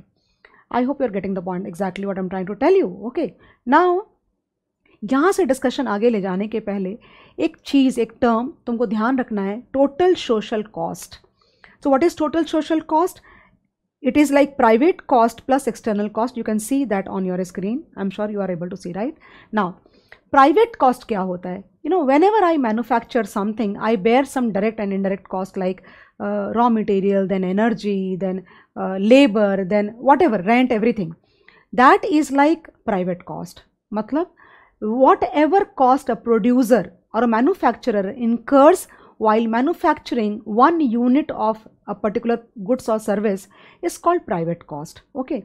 What is external cost? External cost is the cost which is borne by the third party. Who is the third party he और she is neither a producer nor the immediate consumer मतलब क्या हो गया? कोई जैसे यही example चल रहा है अभी तो डिस्कशन के अंदर में कि अगर आप कोई आयरन एंड स्टील प्लांट की बात करते हैं या कोई एल्यूमिनियम प्लांट की बात करते हैं तो वो जो उसमें से स्मोक निकलता है फ्यूम निकलता है, वो जो प्रोड्यूसर है, वो भी कॉस्ट में फैक्टर इन नहीं करता, जो कंज्यूमर है उसको बेयर नहीं करना पड़ता। उसका जो कॉस्ट है वो कौन बेयर कर रहा है? कोई थर्ड पार्टी जो कि ना तो प्रोड्यूसर है और ना कंज्यूमर है और ना उसकी वजह से हुआ है। उसको बोलेंगे एक्सटर्नल कॉस्ट तो social cost is private cost plus external cost okay, i'm sure you're getting the point, what exactly i'm trying to say. It means private cost plus total negative externalities I am sure guys you are getting the point इसके बारे में और detailing अभी करने वाली हूँ, तुम समझ जाओगे मैं क्या बोलना चाह रही हूँ। Similarly what is social total social benefit is private benefit plus the external benefit यानी कि अगर, सुनना ध्यान से if the private if the private cost if the private cost and social cost are same okay that means there are no externalities involved in that particular production okay or consumption for that matter यानी कि अगर तुम ऐसे भी बोल सकते हो अगर एक्सटर्नलिटीज़ नहीं होंगी सपोज़ करो किसी भी काम से फॉर एग्ज़ाम्पल अगर मैं पढ़ा रही हूँ तो इसमें कोई एक्सटर्नलिटी आई डोंट नो मुझे तो ऐसे फीलिंग आती है कि कोई भी हम काम करते हैं, यानी कि तुम you are paying me the fees I am teaching you right तो बिल्कुल इसमें एक्सटर्नलिटी नहीं है। अब ये ध्यान रखना है कि एक्सटर्नलिटी से नेगेटिव नहीं होती पॉजिटिव भी होती है, ये अलग बात है कि डिस्कशन के अंदर में पॉजिटिव वाली चीज़ें नहीं आती है राइट तो ऐसे सो कॉल्ड एक्सटर्नलिटी नेगेटिव तो नहीं है कम से कम इसके अंदर में ओके तो इस केस में जो मेरा कॉस्ट है और तुमसे जो मैं फ़ीस लेती हूँ, यानी कि तुमको जो कॉस्ट पड़ता है और मुझे जो बेनिफिट मिलता है, वो बराबर हो गया। तो अगर एक्सटर्नलिटी नहीं होगी तो private cost will be equal to the social cost similarly if there are no externalities involve then private benefits will be equal to the social benefits I am sure guys you got the point what exactly am trying to say now the more important point here is that कि usually जब कोई manufacturer है suppose कोई production house है, अपना P and L या balance sheet जब वो बनाएगा ना तो उसके अंदर में सिर्फ़ प्राइवेट कॉस्ट को कंसिडर करेगा। He will not consider the externality is involve in that that means ये उसको कभी पता ही नहीं चलेगा। He would never be able to know that तो बेसिकली क्या हो गया कि भाई फाइव रुपीज़ का रॉ मटेरियल हो गया फाइव रुपीज़ का रेंट हो गया and so on so fourth hundred rupees की कॉस्टिंग निकाली और सपोज़ करो कि दस रुपये का प्रॉफिट का लोडिंग किया, एक सौ दस रुपये का कॉस्ट निकाल दिया। He did not consider the external cost which is happening because of his activity so what will happen? He would never come to know how much resources should be used what is the actual cost of his economic activity actually. Okay and if somebody doesn't stop him if somebody does not intervene that means the actual uh, society cost which is which is borne by the society as a whole okay that means that also means that the benefit received by the society because of his activity is relatively on a lesser side then the cost involve क्योंकि he is considering only the private cost and not the total social cost I hope you are getting the point completely right ये यहाँ पे मैंने लिखा भी है। एक और बात सुनना ध्यान से कि यूजुअली क्या होता है ना कि uh, हमें हम ऐसा बोलते हैं यू नो काइंड ऑफ़ ऐसा दिमाग में मेरी बात आ रही है। हम ऐसा बोलते हैं कि that market mechanism is good enough to consider all the like तुम्हारी खरीदने की जो विलिंगनेस है कंज्यूमर की और मेरे को जो कॉस्ट है अगर uh, मैं पूरी तरह से मतलब हमारा मैच कर जाए तो market mechanism is at equilibrium लेकिन पॉइंट यहाँ पे ये यह होता है कि हम सिर्फ़ प्राइवेट कॉस्ट और प्राइवेट बेनिफिट की ही बात करते रह जाते हैं। We are actually not talking about the social cost and social benefit actually होना क्या चाहिए? The equilibrium point would be that point where the total the total social cost of producing something of any economic activity is equal to the total benefit received by the society because of that activity तब तुम बोलोगे कि market equilibrium पे है और उस equilibrium पे जो आउटपुट प्रोड्यूस होगा उसको बोला जाएगा सोशली ऑप्टिमल आउटपुट ओके आगे गाइस बढ़ते हैं थोड़ा सा और। देखो यहाँ पे लिखा है मैंने ये सारी बातें। मैंने मॉड्यूल से लिया कट शॉर्ट करके काफ़ी ज़्यादा। Social benefits are the total benefits accrued to the society from an economic activity social benefits can be defined as private benefits plus benefits to the third parties तुम समझ गए मैं क्या बोल रहा हूँ यहाँ पे। Then the presence of externalities creates a divergence between private and social cost of production मतलब क्या हो गया? अगर एक्सटर्नलिटीज ज़्यादा होंगी तो there will be a lot of gap between private cost and social cost correct ना? और वो सही नहीं है। दैट मीन्स मैन्युफैक्चरर को और कंज्यूमर को कभी भी पता नहीं चलेगा कि रियल कॉस्ट क्या है इसका एंड ये चीज़ों का सोसाइटी पे अफेक्ट नहीं आएगा तो मैं ऐसे तो नहीं बोल सकता। ये बात ऑलरेडी मैं अपन आज के लेक्चर में डिस्कस कर चुके हैं right a producers do not take into account externalities there will be over production and market failure क्योंकि तुमको प्रोक्योर करने में खर्चा कम लग रहा है, तुमको बनाने में खर्चा कम लग रहा है, क्योंकि तुम रियल कॉस्ट को कंसिडर नहीं कर रहे हो। Okay? Externalities cause market inefficiencies because they hinder the ability of the market prices to convey accurate information about how much to produce and how much to uh, consume I hope you got the point. I told you that the biggest problem and the unique feature of external cost is that it cannot be built up into the market mechanism, price mechanism actually. That is a bigger problem. Okay, and this can be only done by government. No private person would consider that. वो क्यों करेगा? I mean, there would be no incentive on his part. उसको तो आराम से because an individual firm, an individual or a household can think only about themselves. They cannot think about the environment or the broad level things that we are discussing here. अभी जो हम बातें कर रहे हैं मैं और तुम भी इन चीज़ों के बारे में सोचते हैं क्या ज़िंदगी में? नहीं। तो किसी और को सोचना पड़ेगा। तो जब कोई और लाइक like गवर्नमेंट सोचेगा और उस कॉस्ट को जब इनकलकेट किया जाएगा आपके सिस्टम के अंदर में तो क्या होगा कि आपको जो कॉस्ट पड़ रहा है उससे ज़्यादा कॉस्ट आपको चार्ज किया जाएगा। तो सामने वाले की कंजम्पशन भी थोड़ी सी या तो डिले होगी या फिर कम हो जाएगी।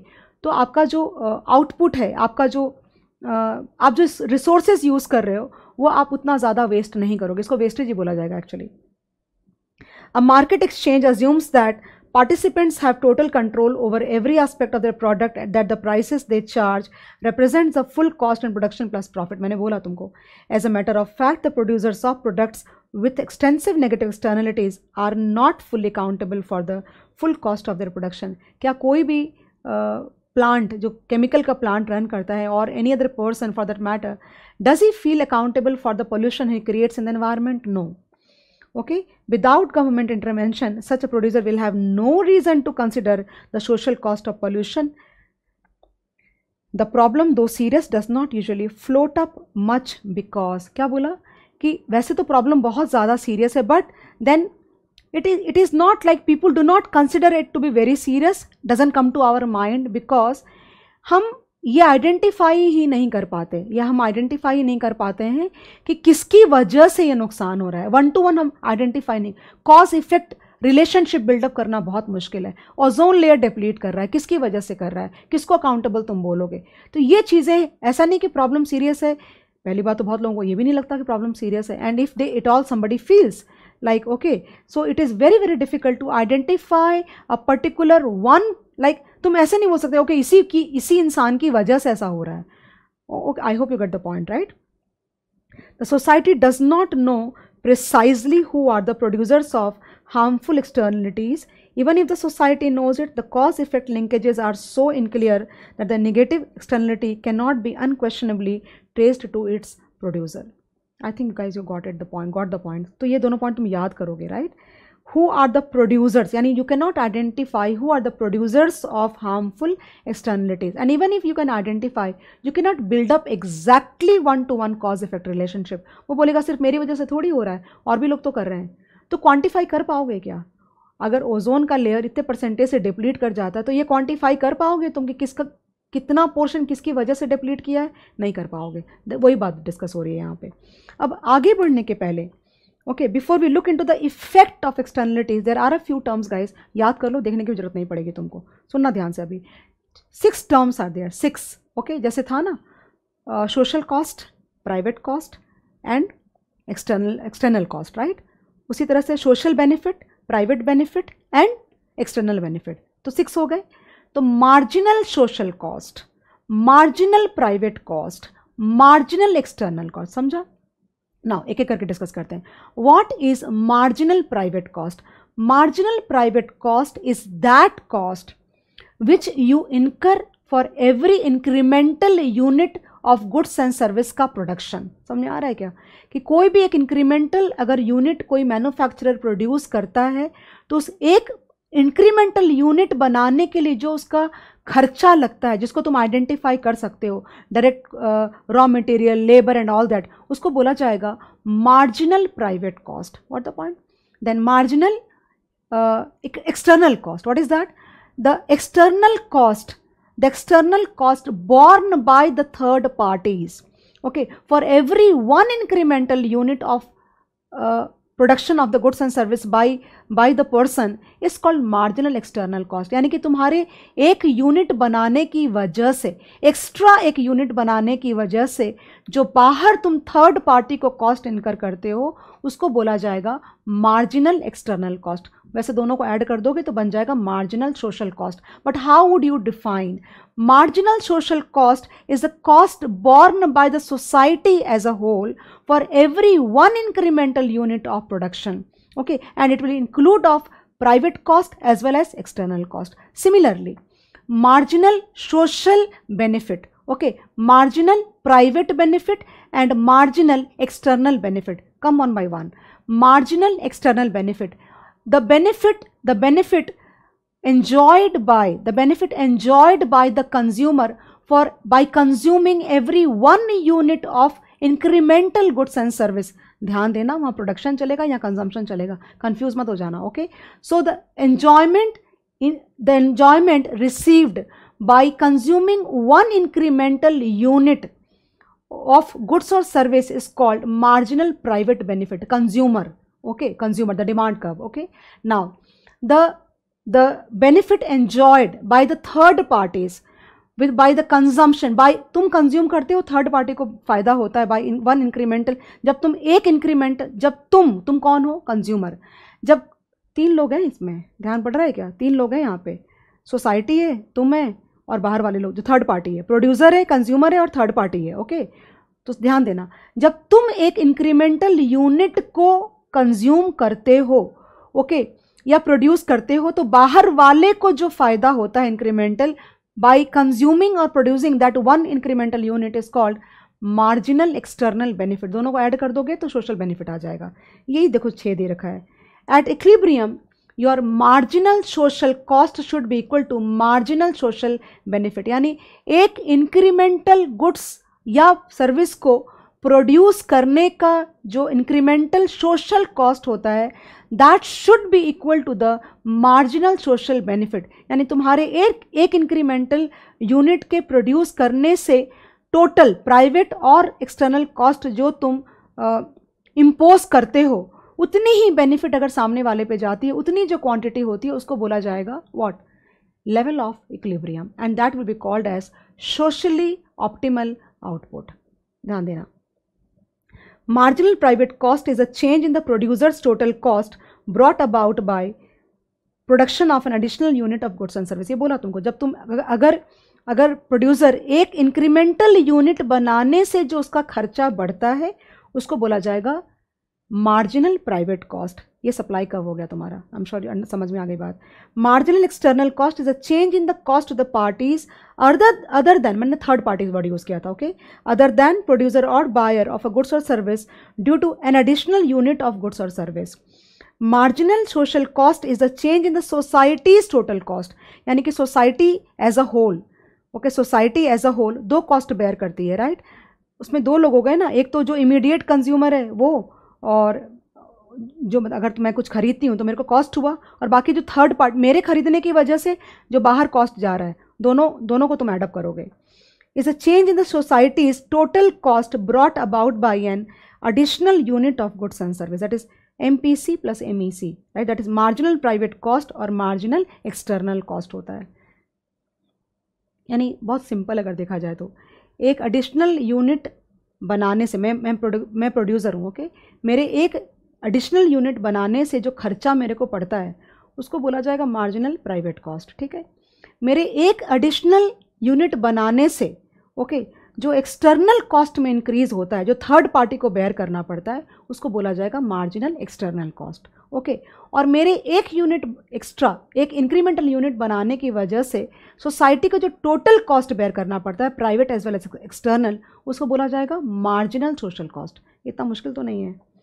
Marginal marginal private benefit marginal willingness to pay okay it is demand का। बेसिकली एक इंक्रीमेंटल यूनिट को कंज्यूम करने से, एक इंक्रीमेंटल यूनिट को कंज्यूम करने से जो मुझे सेटिस्फैक्शन मिलती है okay okay?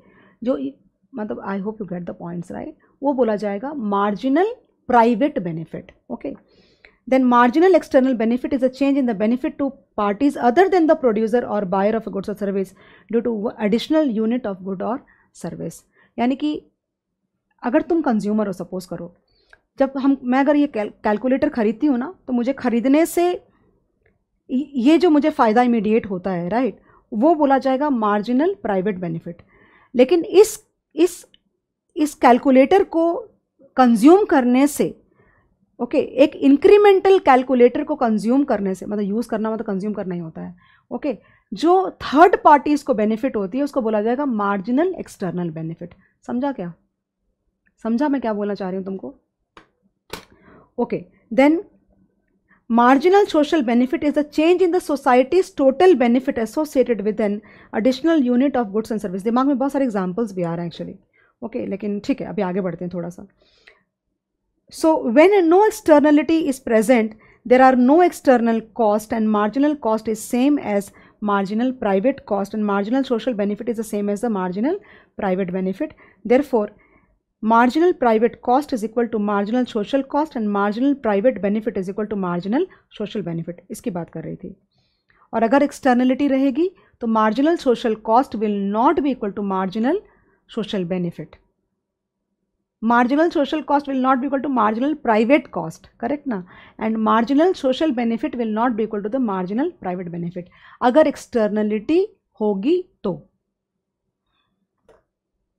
Day to day के एग्जाम्पल्स अगर निकालोगे ना तो बहुत सारे एग्जाम्पल्स निकल जाते हैं एक्चुअली फॉर एग्ज़ाम्पल कैसे बोलूँ मैं तुमको? सपोज़ कोविड सिचुएशन में अगर अपन लेते हैं तो कितनी सारी कंपनीज़ आर एन डी मैं हो सकता है एग्जैक्ट जो एग्जांपल बोल रही हूँ बट कहीं ना कहीं तुमको कुछ ना कुछ तो आइडिया लग जाएगा और तुम शायद रिफाइन भी कर पाओगे मेरे एग्जांपल्स को फॉर दैट मैटर कि जैसे फॉर एग्जांपल कोविड हुआ ओके okay?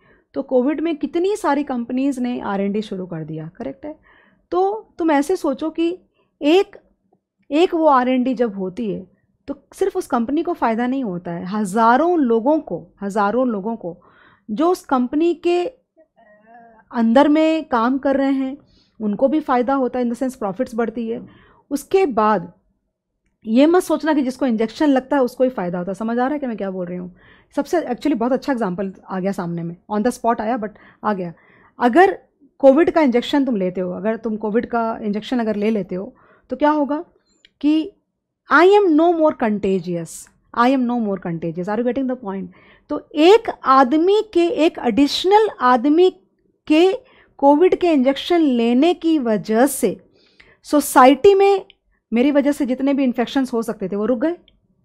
अच्छा एग्ज़ाम्पल है ना? कितना अच्छा एग्ज़ाम्पल है कि एक आदमी के, एक इंक्रीमेंटल ह्यूमन बीइंग के कोविड इंजेक्शन लेने की वजह से कितने सारे लोग हैं। मुझे तो बेनिफिट हुआ ही। ये ये मेरा मार्जिनल ये मेरा प्राइवेट बेनिफिट हुआ राइट लेकिन मेरी वजह से, मेरी वजह से कितने सारे ऐसे लोग हैं जिनको कोविड अब नहीं होगा। तो क्या हो गया ये? ये सोशल बेनिफिट हुआ ना? ये ये थर्ड पार्टी बेनिफिट हो गया। तो कितना अच्छा एग्ज़ाम्पल हो गया, देखो। तो for that matter for every one injection for every one Covid injection the marginal social benefit is very high तो इस तरह की चीज़ आ गई। भाई मैं तो बोली ना कि एग्ज़ाम्पल मेरे दिमाग में बहुत आ रहे हैं बट क्या होता है एग्ज़ाम्पल दिमाग में आना और उसको कंसेप्चलाइज करके तुम्हारे तक पहुँचाना फ़र्क है। कहीं ऐसा ना हो कि मैं कोई एग्ज़ाम्पल बिल्डअप करूँ और वो लाइक like, इतना रेलिवेंट ना हो। होता है ना एक दिमाग में थॉट है। कंसेप्चुलाइज नहीं किया है अभी कंसेप्चलाइज हो गया। आई एम श्योर समझा इन लोग को।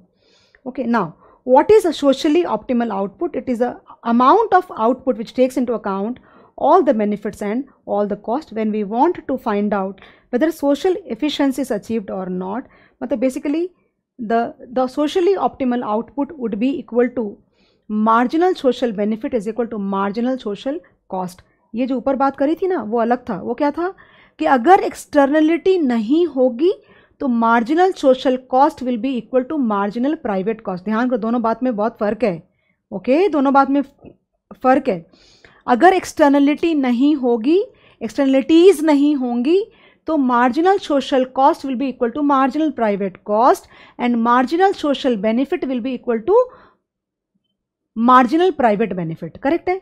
अगर एक्सटर्नलिटी होगी तो ऐसा नहीं होगा डाइवर्जेंस रहेगा दोनों में। कॉमन सेंस अब लगाओ थोड़ा सा, ठीक है? यहाँ पे मैं क्या बोल रही हूँ कि सोशली ऑप्टिमल आउटपुट वो होगा जहाँ पे एक इंक्रीमेंटल गुड्स एंड सर्विस बनाने से जो मार्जिनल सोशल कॉस्ट है, वो मार्जिनल सोशल बेनिफिट के बराबर होना चाहिए। तो जाके वो जो पॉइंट होगा इंटरसेक्शन का, उसको बोला जाएगा ऑप्टिमल आउटपुट उस उस प्राइस पे जितनी क्वांटिटी बननी चाहिए, उतनी ही बन रही है। बस ये ना डायग्राम है। बोलोगे तो मैं बना के तुमको दिखाती हूँ। तभी समझेगा तुमको। रुक जाओ। तुमको भी रफ में बना लो ना, क्या फ़र्क पड़ता है? I use maybe scale I personally feel that when you don't draw you don't understand so whether you draw in rough also it is okay but then you should draw बिना draw करे सवाल ही नहीं उठता है। कि तो suppose करो कि ये तुम्हारा डिमांड कर्व है। ओके और ये तुम्हारा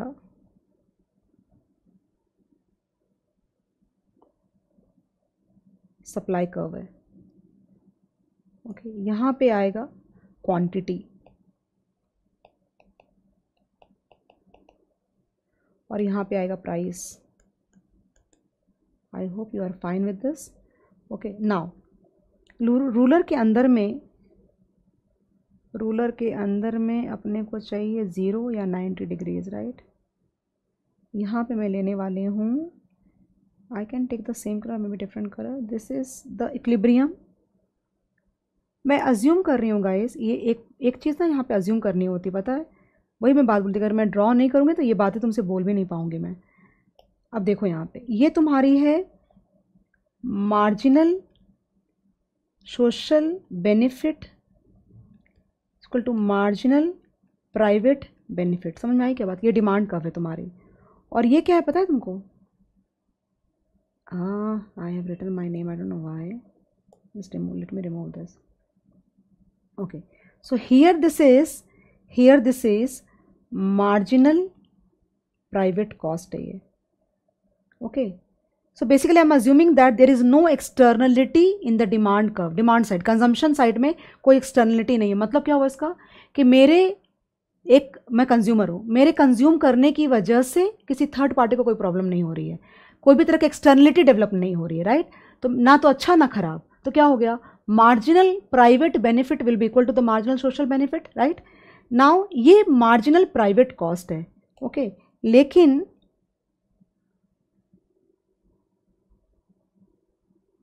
यहाँ पे लू क्या चलेगा? ये वाली लाइन जो तुम्हारी है, अब देखो तुम क्या हो रहा है यहाँ प्रॉब्लम प्रॉब्लम ये हो रहा है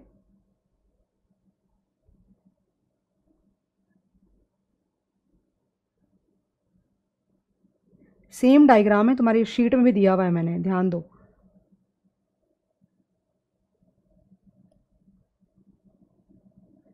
चलो नोटेशंस में डाल लें तो फिर डिस्कस करते हैं। ये हो गया मार्जिनल सोशल कॉस्ट करेक्ट है? This is like Q q1 and this is like q2 0 this is like p1 and this is like p2 समझ आ रही है बात? दो पॉइंट्स लिए मैंने यहाँ पे। यहाँ देखो, ये एक पॉइंट है और ये एक पॉइंट है।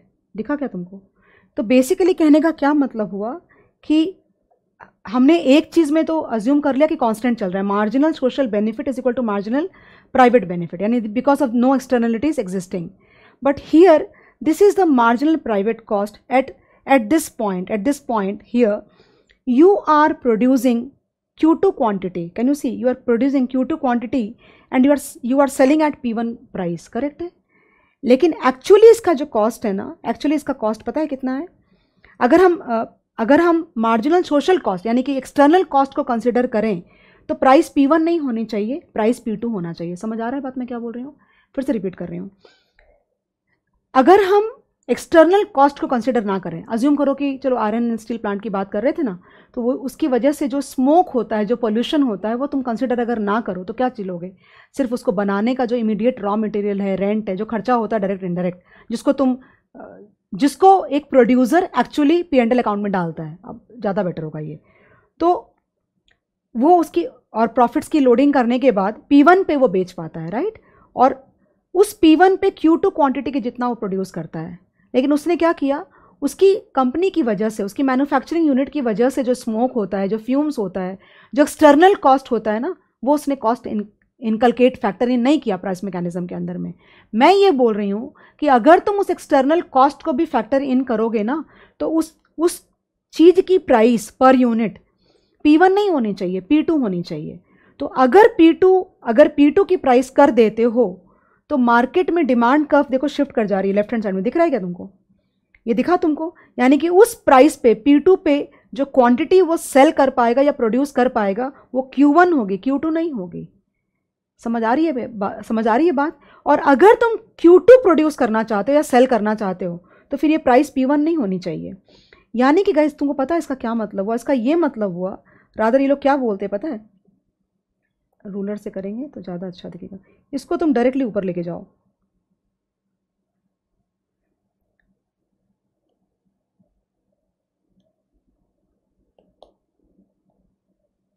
ये वाला पार्ट और पता है इसको क्या बोलते हैं लोग? इसको बोलते हैं एक्चुअली अगर तुम्हें क्यू टू क्वान्टिटी प्रोड्यूस करनी और सेल करना है तो वो पी वन नहीं होना चाहिए ना, वो तो पी टू से भी ऊपर होना चाहिए फिर। समझ आ रही है बात? तो बेसिकली अगर तुम पी वन पे क्यू टू क्वान्टिटी सेल कर रहे हो तो सोसाइटी के वेलफेयर का लॉस कर रहे हो। और ये जो पार्ट है ना, इसको वो, ये लॉस वाला पार्ट है। और तुमको पता है इसको क्या बोलते हैं? टेक्निकली इसको बोलते हैं dead weight loss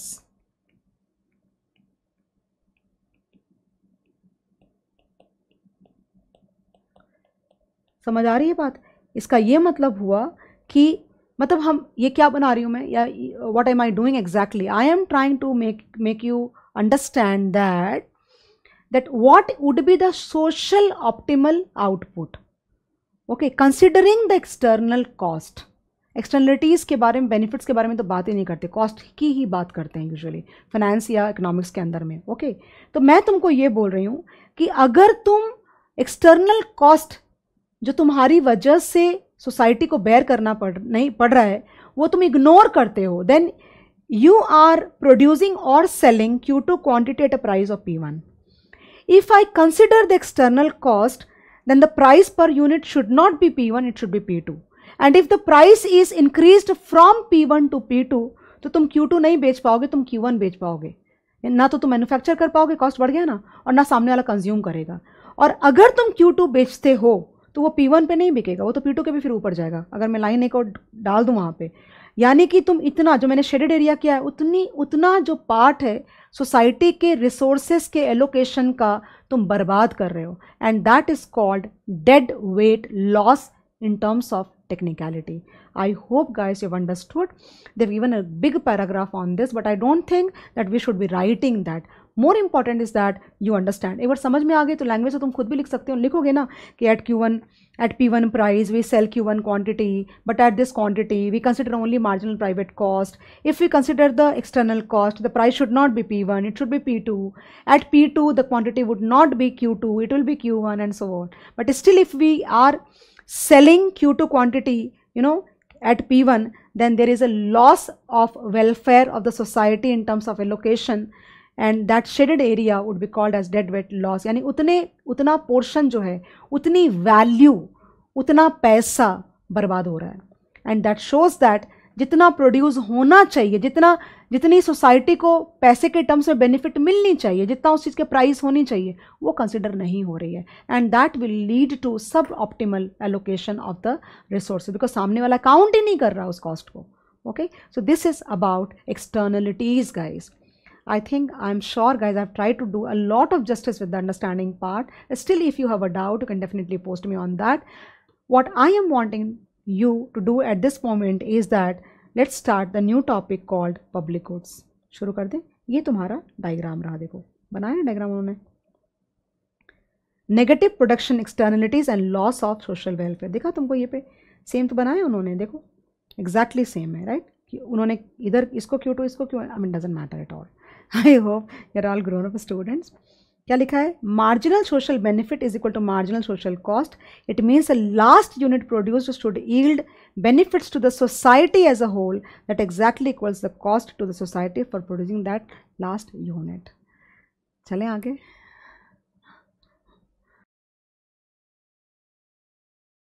okay okay, आगे बढ़ते हैं गैस शुरू करते हैं next public goods if you remember at all when we started the topic this market failure I told you that there are four major reasons of market failure. Market failing where? It fails in the allocation of or rather efficient allocation of the resources. तो पहला हमने क्या पढ़ा The first one was monopoly because a few people, one person or a few people together okay they control the market and that is why it is not possible to have a proper allocation मतलब efficient allocation resources की socially optimal तरीके से नहीं हो पाता because of monopoly okay मैंने शायद कहीं ना कहीं ये भी डिस्कस किया था कि तुम कितना भी चाहो, तुम मार्केट को परफेक्टली कॉम्पिटिटिव नहीं बना सकते। मैं क्यों ये पॉइंट यहाँ पे बोल रही हूँ? बिकॉज़ ये भी हमने बात करी थी, मैं रिवाइज भी कराती रहूँगी तुमको। अगर मार्केट परफेक्टली कॉम्पिटिटिव होते that means if the market was capable of being perfectly competitive we would have definitely achieved perfect efficiency in terms of the allocation but कभी भी वो परफेक्ट कंपटीशन वाली जो चीज़ है, वो अचीव नहीं हो सकती। इसके बारे में मैंने बात किया था। Because the factors and the resources of production are controlled by people सबके पास एक जितनी ज़मीन होती है, क्या तुम पॉसिबल कर सकते हो कि सबके पास तुम लैंड बराबर बांट दो? पॉसिबल है क्या? नहीं पॉसिबल है। डिस्पोजेबल इनकम सबकी तुम बराबर कर ही नहीं सकते। कुछ हद तक कुछ कम्युनिस्ट जो गवर्नमेंट्स होती हैं या सोशलिस्ट गवर्नमेंट्स होती हैं, वो ट्राई कर सकते हैं। बट वो ट्राई मतलब बेसिकली तुम ऐसे तो नहीं बोल सकते ना कि भाई मेरे पास ज़्यादा पैसा है, मैं रोलेक्स की वॉच खरीद सकती हूँ। तो अब मुझे ये कोई सरकार आके बोलेगा, भाई तुमको ज़्यादा पैसा, अब तुम्हारा जो ज़्यादा पैसा है, तुम सामने वाले को बांटो ताकि वो भी रोलेक्स खरीद पाए। कैसा कर पाओगे, क्या नहीं कर पाओगे ना? हाँ मुझसे थोड़े पैसे टैक्स के नाम पे ज़्यादा ले सकते हो और उसको खाने पहनने रहने की जितनी सुविधा तुम प्रोवाइड कर सकते हो। ताकि बेसिक रिक्वायरमेंट से सामने वाला डिप्राइव ना हो। ये कर सकते हैं। बट तुम ये तो नहीं कर सकते ना कि भाई आप, कोई आप यू नो काइंड ऑफ़ एक लग्जरी ब्रांड का आप कुछ पहनते हो क्योंकि आपकी इनकम ज़्यादा है तो आपको इक्विटेबल डिस्ट्रीब्यूशन का मतलब ये हुआ कि उसको भी आप पहनाओ। ऐसा कोई कर, ऐसा पॉसिबल नहीं है करना। Let's not discuss beyond this I think it will get very very controversial. I don't want to get into that. Okay. So, second was externalities, because of which we cannot achieve efficient allocation of resources and the third one which we are going to study is public goods guys i think public finance जो unit one था chapter to का उसके अंदर में हम लोगों ने we had studied uh, a small point if you remember if I, I remember properly that what is the exact difference between public goods and private goods i had mentioned two points there number one that the there can be many differences but the exact difference for example i had mentioned you there that अगर कोई definition तुमसे पूछे कि what do you mean by public goods you would say that goods and services produced by government is public goods no this is not the correct definition of a public good public good कहलाने के लिए you need to have two important points number one non rivalrous मतलब if I consume the availability in terms of quantity and quality does not reduce for you non rivals for example अगर मैं एक apple खरीदती हूँ वो apple मैं ही consume करूँगी। यानी तुम्हारे, तुम नहीं consume at one point of time तुम और मैं दोनों कंज्यूम नहीं कर सकते। यानी तुम्हारे लिए कम हो गया। Okay that way then non feasibility of exclusion मतलब तुम मेरे को कंज्यूम करने से नहीं रोक सकते, सामने वाले को भी नहीं कर सकते। फॉर एग्ज़ाम्पल नेशनल डिफेंस सरकार ये नहीं बोल सकती कि अच्छा इसको प्रोटेक्ट करेंगे, इसको नहीं करेंगे। No it's not possible that means we can not exclude someone from consuming that. Okay? Whole of it is available to me whole of it is available to you like that okay so that is that these are the two important points which segregate between public goods and private goods okay so what are public goods इसमें mention क्या इसलिए बोल रही हूँ a very very important economist called Mr.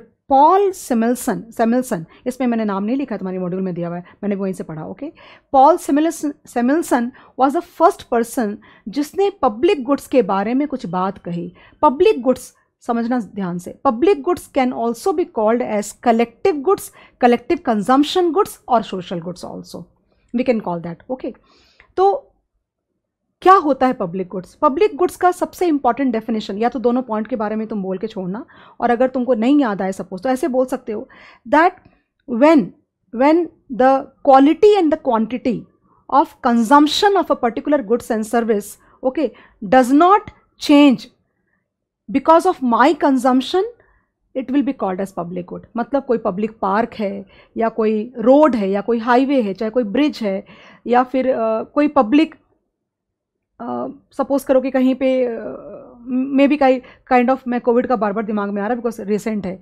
Okay okay, Covid के अगर समझो कि इंजेक्शन्स लग रहे हैं तो सरकार फ्री में लगवा रही है किसी गाँव में तो कोई थोड़ी सरकार बोल सकती है कि इसको इसको मत लगाओ इसको लगाओ। ऐसा तो नहीं कर सकते ना दैट वे सो इनके लगा मतलब बेसिकली एक ब्रिज पे या स्ट्रीट लाइट के नीचे स्ट्रीट लाइट प्राइवेट नहीं होता, सरकार लगाती है। तो स्ट्रीट लाइट के नीचे अगर मैं चलती हूँ तो मुझे जितनी लाइट मिली ओके तो मेरे उस चीज़ को कंज्यूम करने की वजह से जो अगला जो होगा बंदा, जो जाएगा उस स्ट्रीट से, उसके लिए ना तो क्वालिटी इफ़ेक्ट होगी, ना क्वांटिटी इफ़ेक्ट होगी। उसको पब्लिक पब्लिक गुड या सोशल गुड्स बोलेंगे। आई थिंक तुमको पॉइंट मिल गया, मैं क्या बोलना चाह रही हूँ? एक पॉइंट होता है, बहुत इंपॉर्टेंट पढ़ाई में यू नो लर्निंग में नॉलेज में, उसको बोलते हैं intuitive you know what is intuitive intuitive का मतलब होता है कि कई सारी बातें होती हैं जो हम लिख के बता सकते हैं, हम बोल नहीं सकते। ओके दैट मीन्स तुमको मेरे इशारे, तुमको मेरी फीलिंग्स को समझना पड़ेगा, मैं क्या बोलना चाह रही हूँ। That doesn't mean I am not a good orator I am a good orator okay I can speak well but then there are a few things which which you cannot express properly in words कुछ बातें ऐसी होती हैं जो हम लिख सकते हैं, हम बोल नहीं सकते। ये थोड़ा तुमको शायद लगे मैम शायरी बोल रही है। और कुछ बातें ऐसी होती हैं जो हम बोल सकते हैं, हम लिख नहीं सकते। और कुछ बातें ऐसी होती है जो हम ना लिख सकते हैं, ना हम बोल सकते हैं, तुमको मेरे मन को, मेरी आँखों से समझना पड़ेगा। और कुछ बातें ऐसी हैं जो हम लिख भी सकते हैं, हम बोल भी सकते हैं। Too many combination actually okay come back come back it was a good break actually coming back now now in order to understand the behaviour of the public goods properly I think that you should first try to see the features and the characteristics of the private goods guys ये important exam में आएगा। मैं तुमको बता देती हूँ, ये exam में आएगा। Okay okay? पॉइंट्स अगर थियोरी लिखने को बोलेंगे तो पॉइंट्स वाली थियोरी ज़्यादा आने के चांसेस होते हैं ये ध्यान रखना। और इसलिए मैं भी इतनी मेहनत कर रही हूँ कि आ, मेरे आई कांटेक्ट तुमसे बना हुआ रहना चाहिए। मैं ये नहीं चाहती कि मैं नीचे देखूँ और तुम्हारा आई कांटेक्ट मेरे से ब्रेक हो जाए तुम्हारा अटेंशन कहीं और चला जाए। इसलिए I am trying to make sure that कि मैं मिनिमल नीचे की तरफ़ देखूँ। लास्ट मैपिंग कराती हूँ एक अलग बात है। ओके तो सबसे पहली चीज़ प्राइवेट क्या होता है प्राइवेट गुड्स टेन पॉइंट्स उन्होंने दिए हैं। सात आठ तो मेरा देखे ही बोल दूँगी तुमको उसके बाद एक तो देखने की शायद ज़रूरत पड़ेगी तो तुम मेरे साथ ही याद कर लो अच्छा रहेगा। और मैं तुमको पाँच पॉइंट तो मैं तुमको याद करा के यहाँ से आगे लेके जाऊँगा चिंता मत करना। पेपर में आया छूटेगा नहीं। Okay point number one public private goods are those goods okay which yield utility to people. Okay they yield utility to people मतलब वो जो गुड्स होते हैं वो इंसान की ज़रूरत होती है उससे लोगों को uh, मतलब मुझे चाहिए okay but because the availability of those goods is scarce in nature you need to pay money in order to own them in order to purchase है मतलब तुमको पैसे दे के वो चीज़ खरीदनी पड़ेगी। तुमको एप्पल की ज़रूरत है, वो तुम्हारी यूटिलिटी की चीज़ है। अगर तुमको चाहिए तो अनलिमिटेड अवेलेबल है क्या एप्पल अगर अनलिमिटेड अवेलेबल होता तो हंड्रेड रुपीज़ पर के जी या टू हंड्रेड रुपीज़ पर के जी थोड़ी ना बिकता। फ्री में बिकता राइट तो बेसिकली तुमको पैसे दे के उसको खरीदना पड़ेगा। Okay that is private good number two The another feature is that you can have property rights मतलब अगर मैंने पैसे दिए तो ये एप्पल मेरा हो गया ओके okay, इस वो apple which which where I paid money and I have the ownership on that, you are not allowed to consume. That means in case of private goods, there is something called property rights and you can you can disallow someone from consuming that point number 2 bola kya bola maine number 1 maine bola public goods private goods are those goods which yield utility to people थोड़ा words तुमको इसका देखना पड़ेगा। मैंने तो एक बार read मारा है, तुमको ज़्यादा मारना पड़ेगा। मुझे तो पढ़ाना है, समझाना है। मैं डॉट टू डॉट नहीं बोलूँगी। तुमको थोड़ा थोड़ा याद करना पड़ेगा। इसलिए मैं ही कोशिश कर रही हूँ कि वो वर्ड्स मैं ही बोलूँ, ताकि तुमको याद हो जाए। Okay they are of some utility to people and in order to in order to get them, you have to pay money and acquire the ownership. Okay, point number one point number two ध्यान रखना। Property rights ownership right होती है private goods में। मतलब पैसा देके हम उसको खरीद के अपना बना सकते हैं। कोई और की चीज़ मेरे खरीदने के बाद वो चीज़ किसी और की नहीं होगी। पॉइंट नंबर टू बोला मैंने। Point number three there is there is a rivalrous nature उसके अंदर में राइवलरस नेचर होता है। मतलब if I pay money and buy that the availability in terms of both quantity और quality will be reduced for you. मतलब मैं और तुम उस चीज़ के कंजम्पशन के लिए राइवल्स हैं। समझा मैं क्या बोल रही हूँ? अगर कोई फ्रूट्स सेलर है, अगर वो हंड्रेड एप्पल्स लेके बैठा है in order to sell and if I buy one apple then the availability of the apples for you would not be hundred it would be ninety nine and similarly the more he keeps selling, the availability for the next user would be less and less. So it is rivalrous in nature. मतलब मेरे consumption करने से वो चीज़ या तो quality में या quantity में कम हो जाती है उसको बोलेंगे प्राइवेट गुड्स उसके बाद क्या बोलेंगे फिजिबिलिटी ऑफ़ एक्सक्लूजन मतलब क्या हुआ इसका कि अगर मैं चाहूँ अगर मेरी कोई शॉप है okay, or in and if i sell something, then i can disallow you to enter into my shop for many reasons for that matter. तुम बोलोगे, मैं पैसा नहीं दूँगा। तो मैं तुमको निकाल सकती हूँ। मतलब मैं, तुम मेरे को फोर्स नहीं कर सकते वो चीज़ लेने के लिए। There is a feasibility of exclusion ध्यान देना मैं क्या क्या बोल रही हूँ। फिर उसके बाद एक पॉइंट आ रहा है in divisibility divisibility basically it is divisible guys okay divisible का मतलब क्या होता है कि अगर फॉर एग्ज़ाम्पल आगे आएगा पॉइंट मैंने बीच में कहीं बोल दिया। सो so, डिविजिबल भी है और पार्सल भी किया जा सकता है। मतलब क्या हो गया कि भाई कोई एक चीज़ है सपोज़ सुनना ध्यान से ओके तो मैंने आ, मैंने किसी चीज़ की मान लो क्वांटिटी जो होती है ना मैंने डिमांड करी टू तुमने डिमांड की थ्री तो बेसिकली मैं जब टू डिमांड करती हूँ जब मैंने दो की क्वांटिटी डिमांड करती हूँ फॉर सम प्राइस ओके और तुम तीन डिमांड करते हो कुछ दूसरी प्राइस पे तो बेसिकली ये हमारी इंडिविजुअल डिमांड कर्व्स हुई ओके मतलब मेरी एक डिमांड कर्व हुई जहाँ पे मैं ये बोल रही हूँ कि मुझे टू यूनिट्स चाहिए दस रुपये के भाव पे पॉसिबल है? तुम बोल रहे हो कि मैं तीन यूनिट लेने को तैयार हूँ नौ रुपये के भाव पे पॉसिबल है? तो बेसिकली ये हो गया कि हम दोनों का, हम दोनों का जो डिमांड कर्व है इंडिविजुअल डिमांड कर्व है, उसको ऐड करके उसको ऐड करके, यानी कि मेरे दो यूनिट अलग और तुम्हारे तीन यूनिट अलग। मतलब वो डिविजिबल है गाय समझ में आ रहा है क्या? तो मेरे दो यूनिट मेरे को मिल जाएँगे, तुम्हारे तीन यूनिट तुमको मिल जाएँगे। मेरे दो यूनिट पे मेरा ओनरशिप है, तुम्हारे तीन यूनिट पे तुम्हारा ओनरशिप है।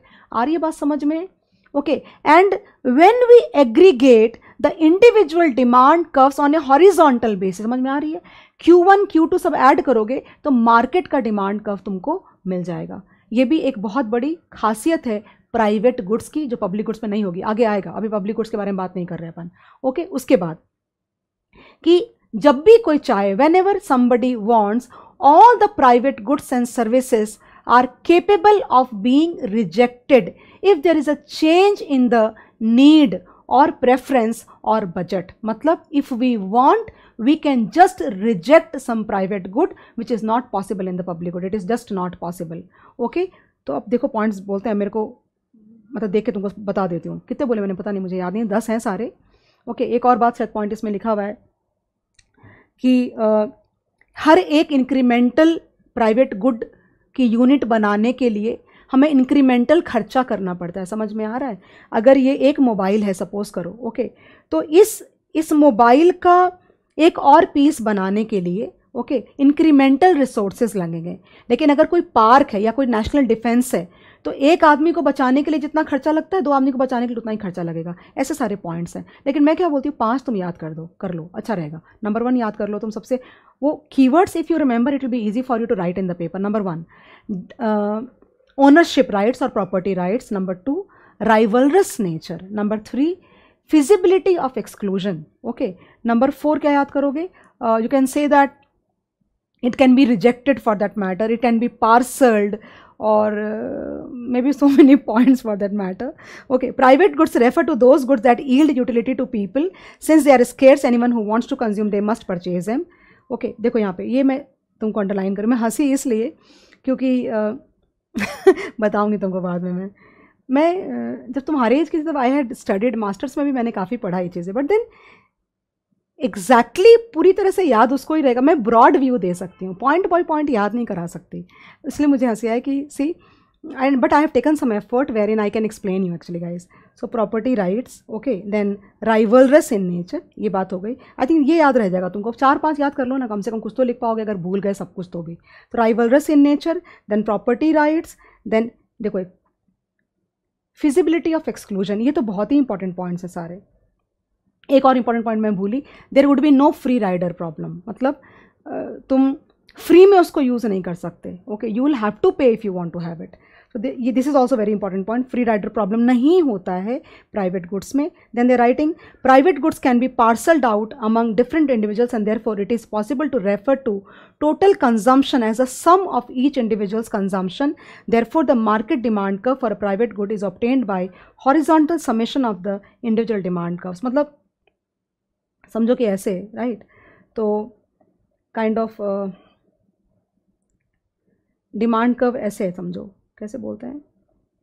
कि तुम बोल रहे हो कि इतना है, ओके, फिर मैं कुछ बड़ा करूँ तभी तुमको मैं बता पाऊँगी। सपोज़ करो यहाँ पे करती हूँ राइट तो ये ऐसे है।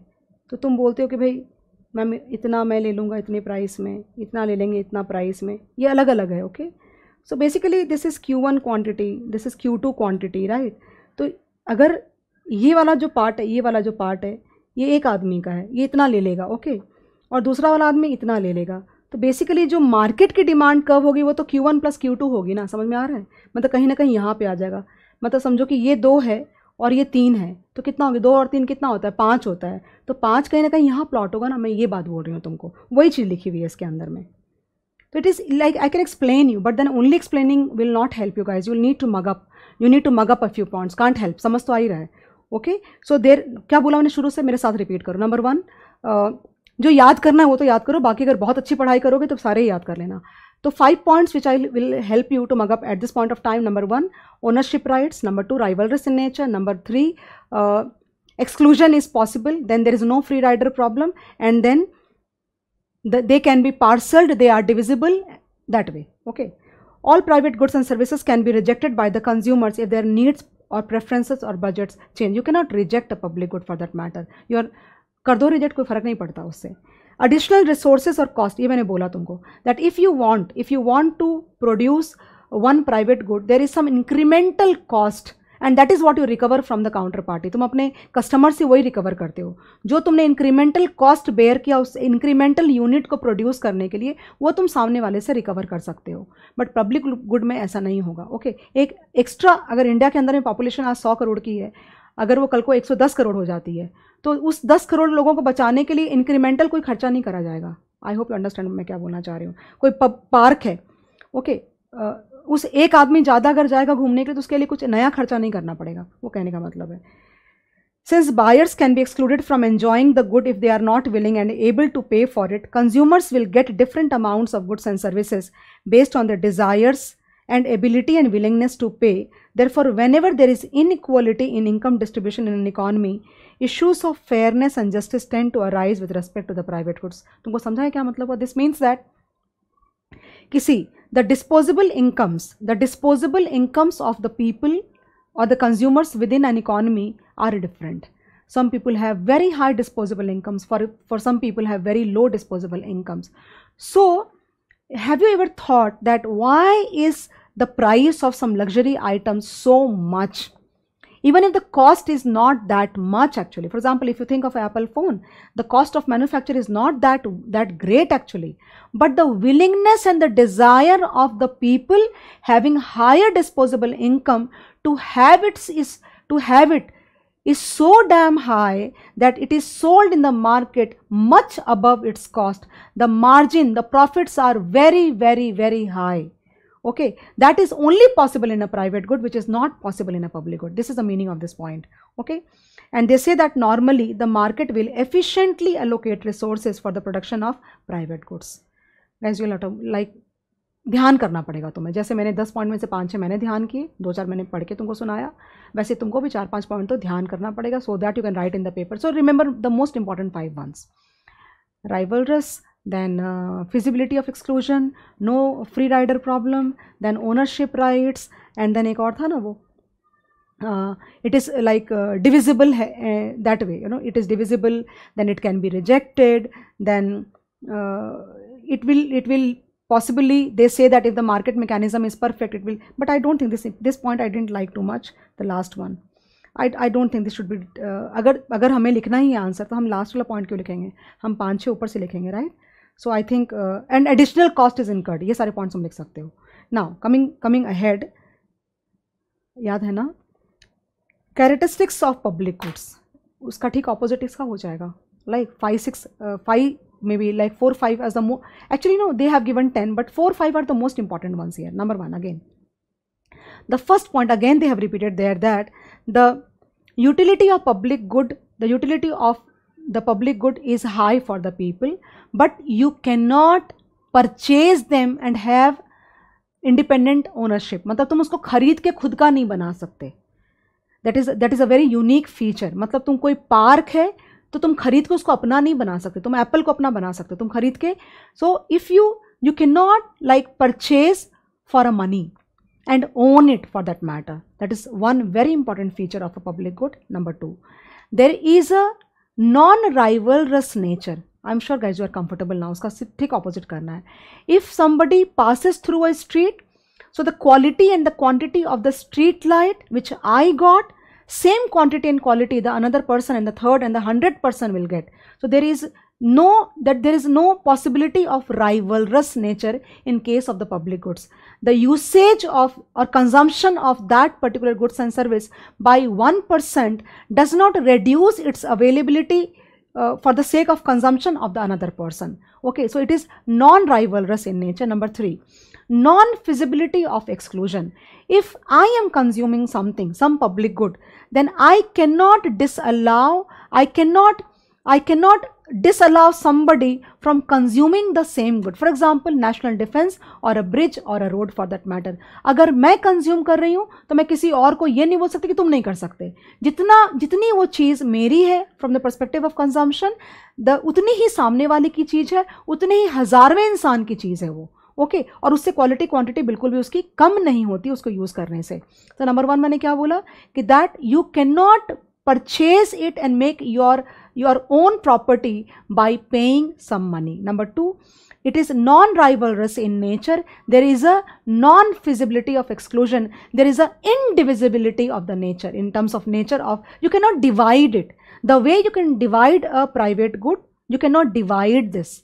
मतलब जैसे मैंने तुमको एग्जाम्पल बोला कि I can I can purchase two units you can purchase three units somebody else can purchase some units for example तुम पिज़्ज़ा ही देख लो ना जो पिज़्ज़ा हम जाते हैं बाजार में खरीदने ओके तो there is a big large pizza okay so you can have your own one piece I can have my own piece it is divisible so it is a private good you pay money the amount of money you pay the number of slices you will get it is not the same in case of a public good you cannot divide it among people by for a money actually okay again the same example the health benefits the public administration the law the defense you cannot divide it it is not possible to divide it in terms of pieces Okay so these are the three important reasons एक और बात the in order to provide in order to provide service this good और service to one additional person we do not need to we do not need to incur additional cost on that मतलब मैंने क्या बोला तुमको? कि अगर national defence है, कल एक बच्चा पैदा हो जाता है सपोज़ करो तो उस एक additional member of the country के लिए नेशनल डिफेंस के लिए हमें एडिशनल पैसे खर्च नहीं करने पड़ेंगे। I hope you got the point public goods yield utility to people and are products whose consumption is essentially collective in nature no direct payment by the consumer is involve in case of the public goods it's a very important point public good is non-rival in consumption. It means that consumption of a public good by one individual does not reduce the quality or quantity available for all other individuals. public goods are non-excludable consumers cannot be excluded from consumption benefits if the good is provided one individual cannot deny other individuals consumption अगर मैं किसी bridge को cross कर रही हूँ तुम किसी को ये नहीं बोल सकते कि ये ब्रिज मेरा है मैं ही क्रॉस करूँगी कोई और नहीं करेगा नहीं पॉसिबल नहीं है ये Public goods are characterized by uh, indivisibility.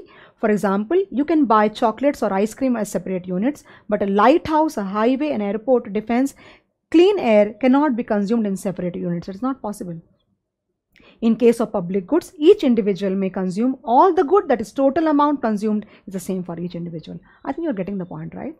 इसमें क्या क्या इंपॉर्टेंट पॉइंट है बोलो फिर से it is a collective good पहला वाला बोला it is a collective good and you cannot make पैसा दे के you cannot buy and make your own you cannot have a ownership on that point number one repeat करो repeat करा रही हूँ तुमको याद करा रही हूँ ध्यान पड़ रहा है तुमको it is like there is no non-feasibility of exclusion then there is non-rivalrous nature it is indivisible okay then the next point फिर लिखा हुआ है once public good is provided additional resource cost of another person consuming the good is zero ये मैंने बोला तुमको right a good example is lighthouse near a sea shore to guide the ships lighthouse देखा है तुमने सी के आसपास में होता है तो लाइट हाउस होता है तो वहाँ से जो सी रूट यूज़ करते हैं शिप्स उसको लाइट के लिए होता है राइट तो वो क्या बोल रहे हैं, पता है क्या?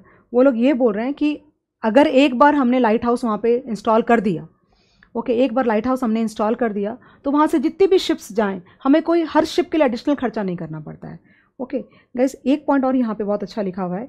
A unique feature of public goods is that they do not conform to the settings of the market exchange the property rights ये बात हुई मैंने, तुम ओनरशिप नहीं उसका बना कर सकते। It is not possible to own a public park it is not possible to own the defence it is not possible to own the highway it is not possible okay the property rights of public goods with extensive in indivisibility and non exhaustive properties can not be determined with certainty therefore the owners of such products can not exercise sufficient control over their assets ये point actually बहुत ज़्यादा important है।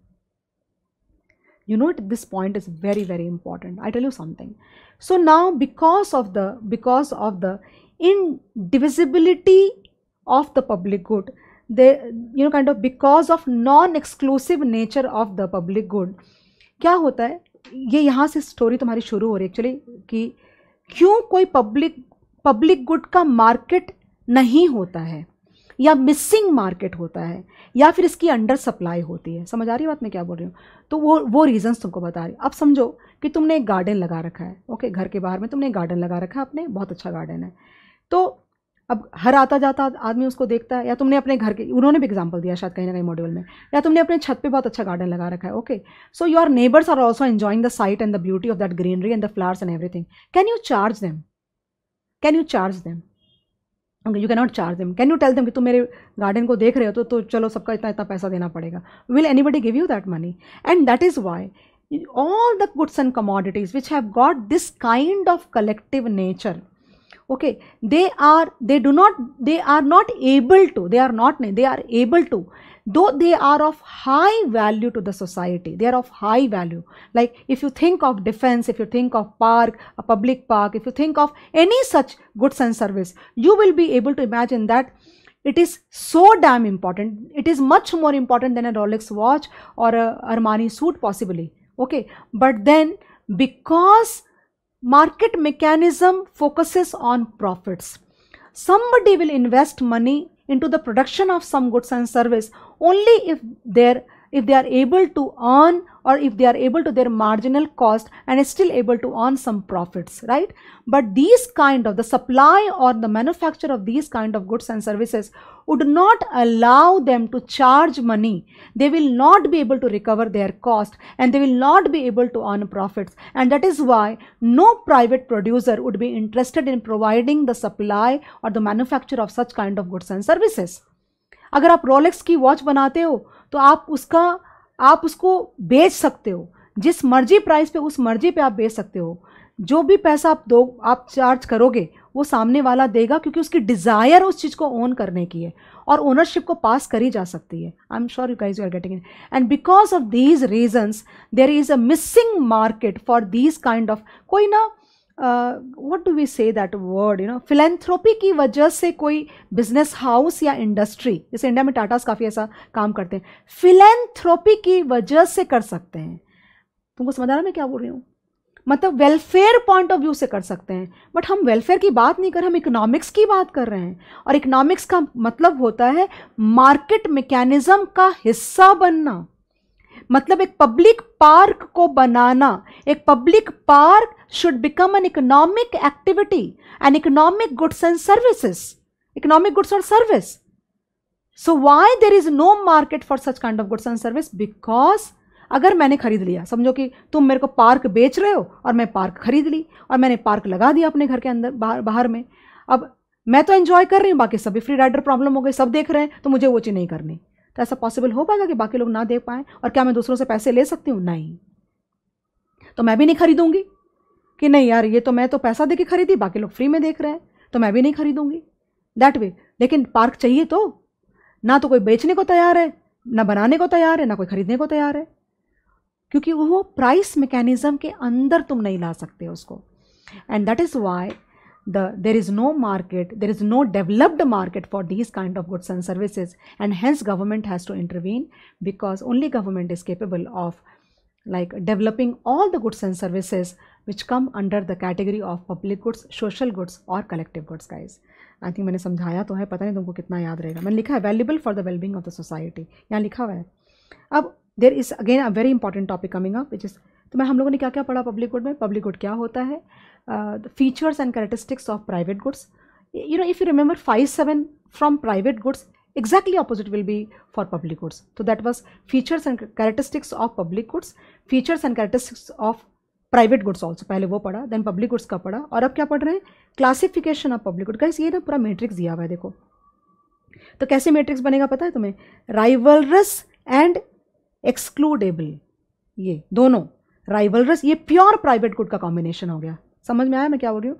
Rivalries भी है और excludable भी है। यानी कि एप्पल खरीदने को गई तो एक एप्पल कम हो जाएगी। अगर मैंने खरीद तो तुम्हारे लिए एक एप्पल कम हो गई। और अगर चाहे तो बेचने वाला मना भी कर सकता है।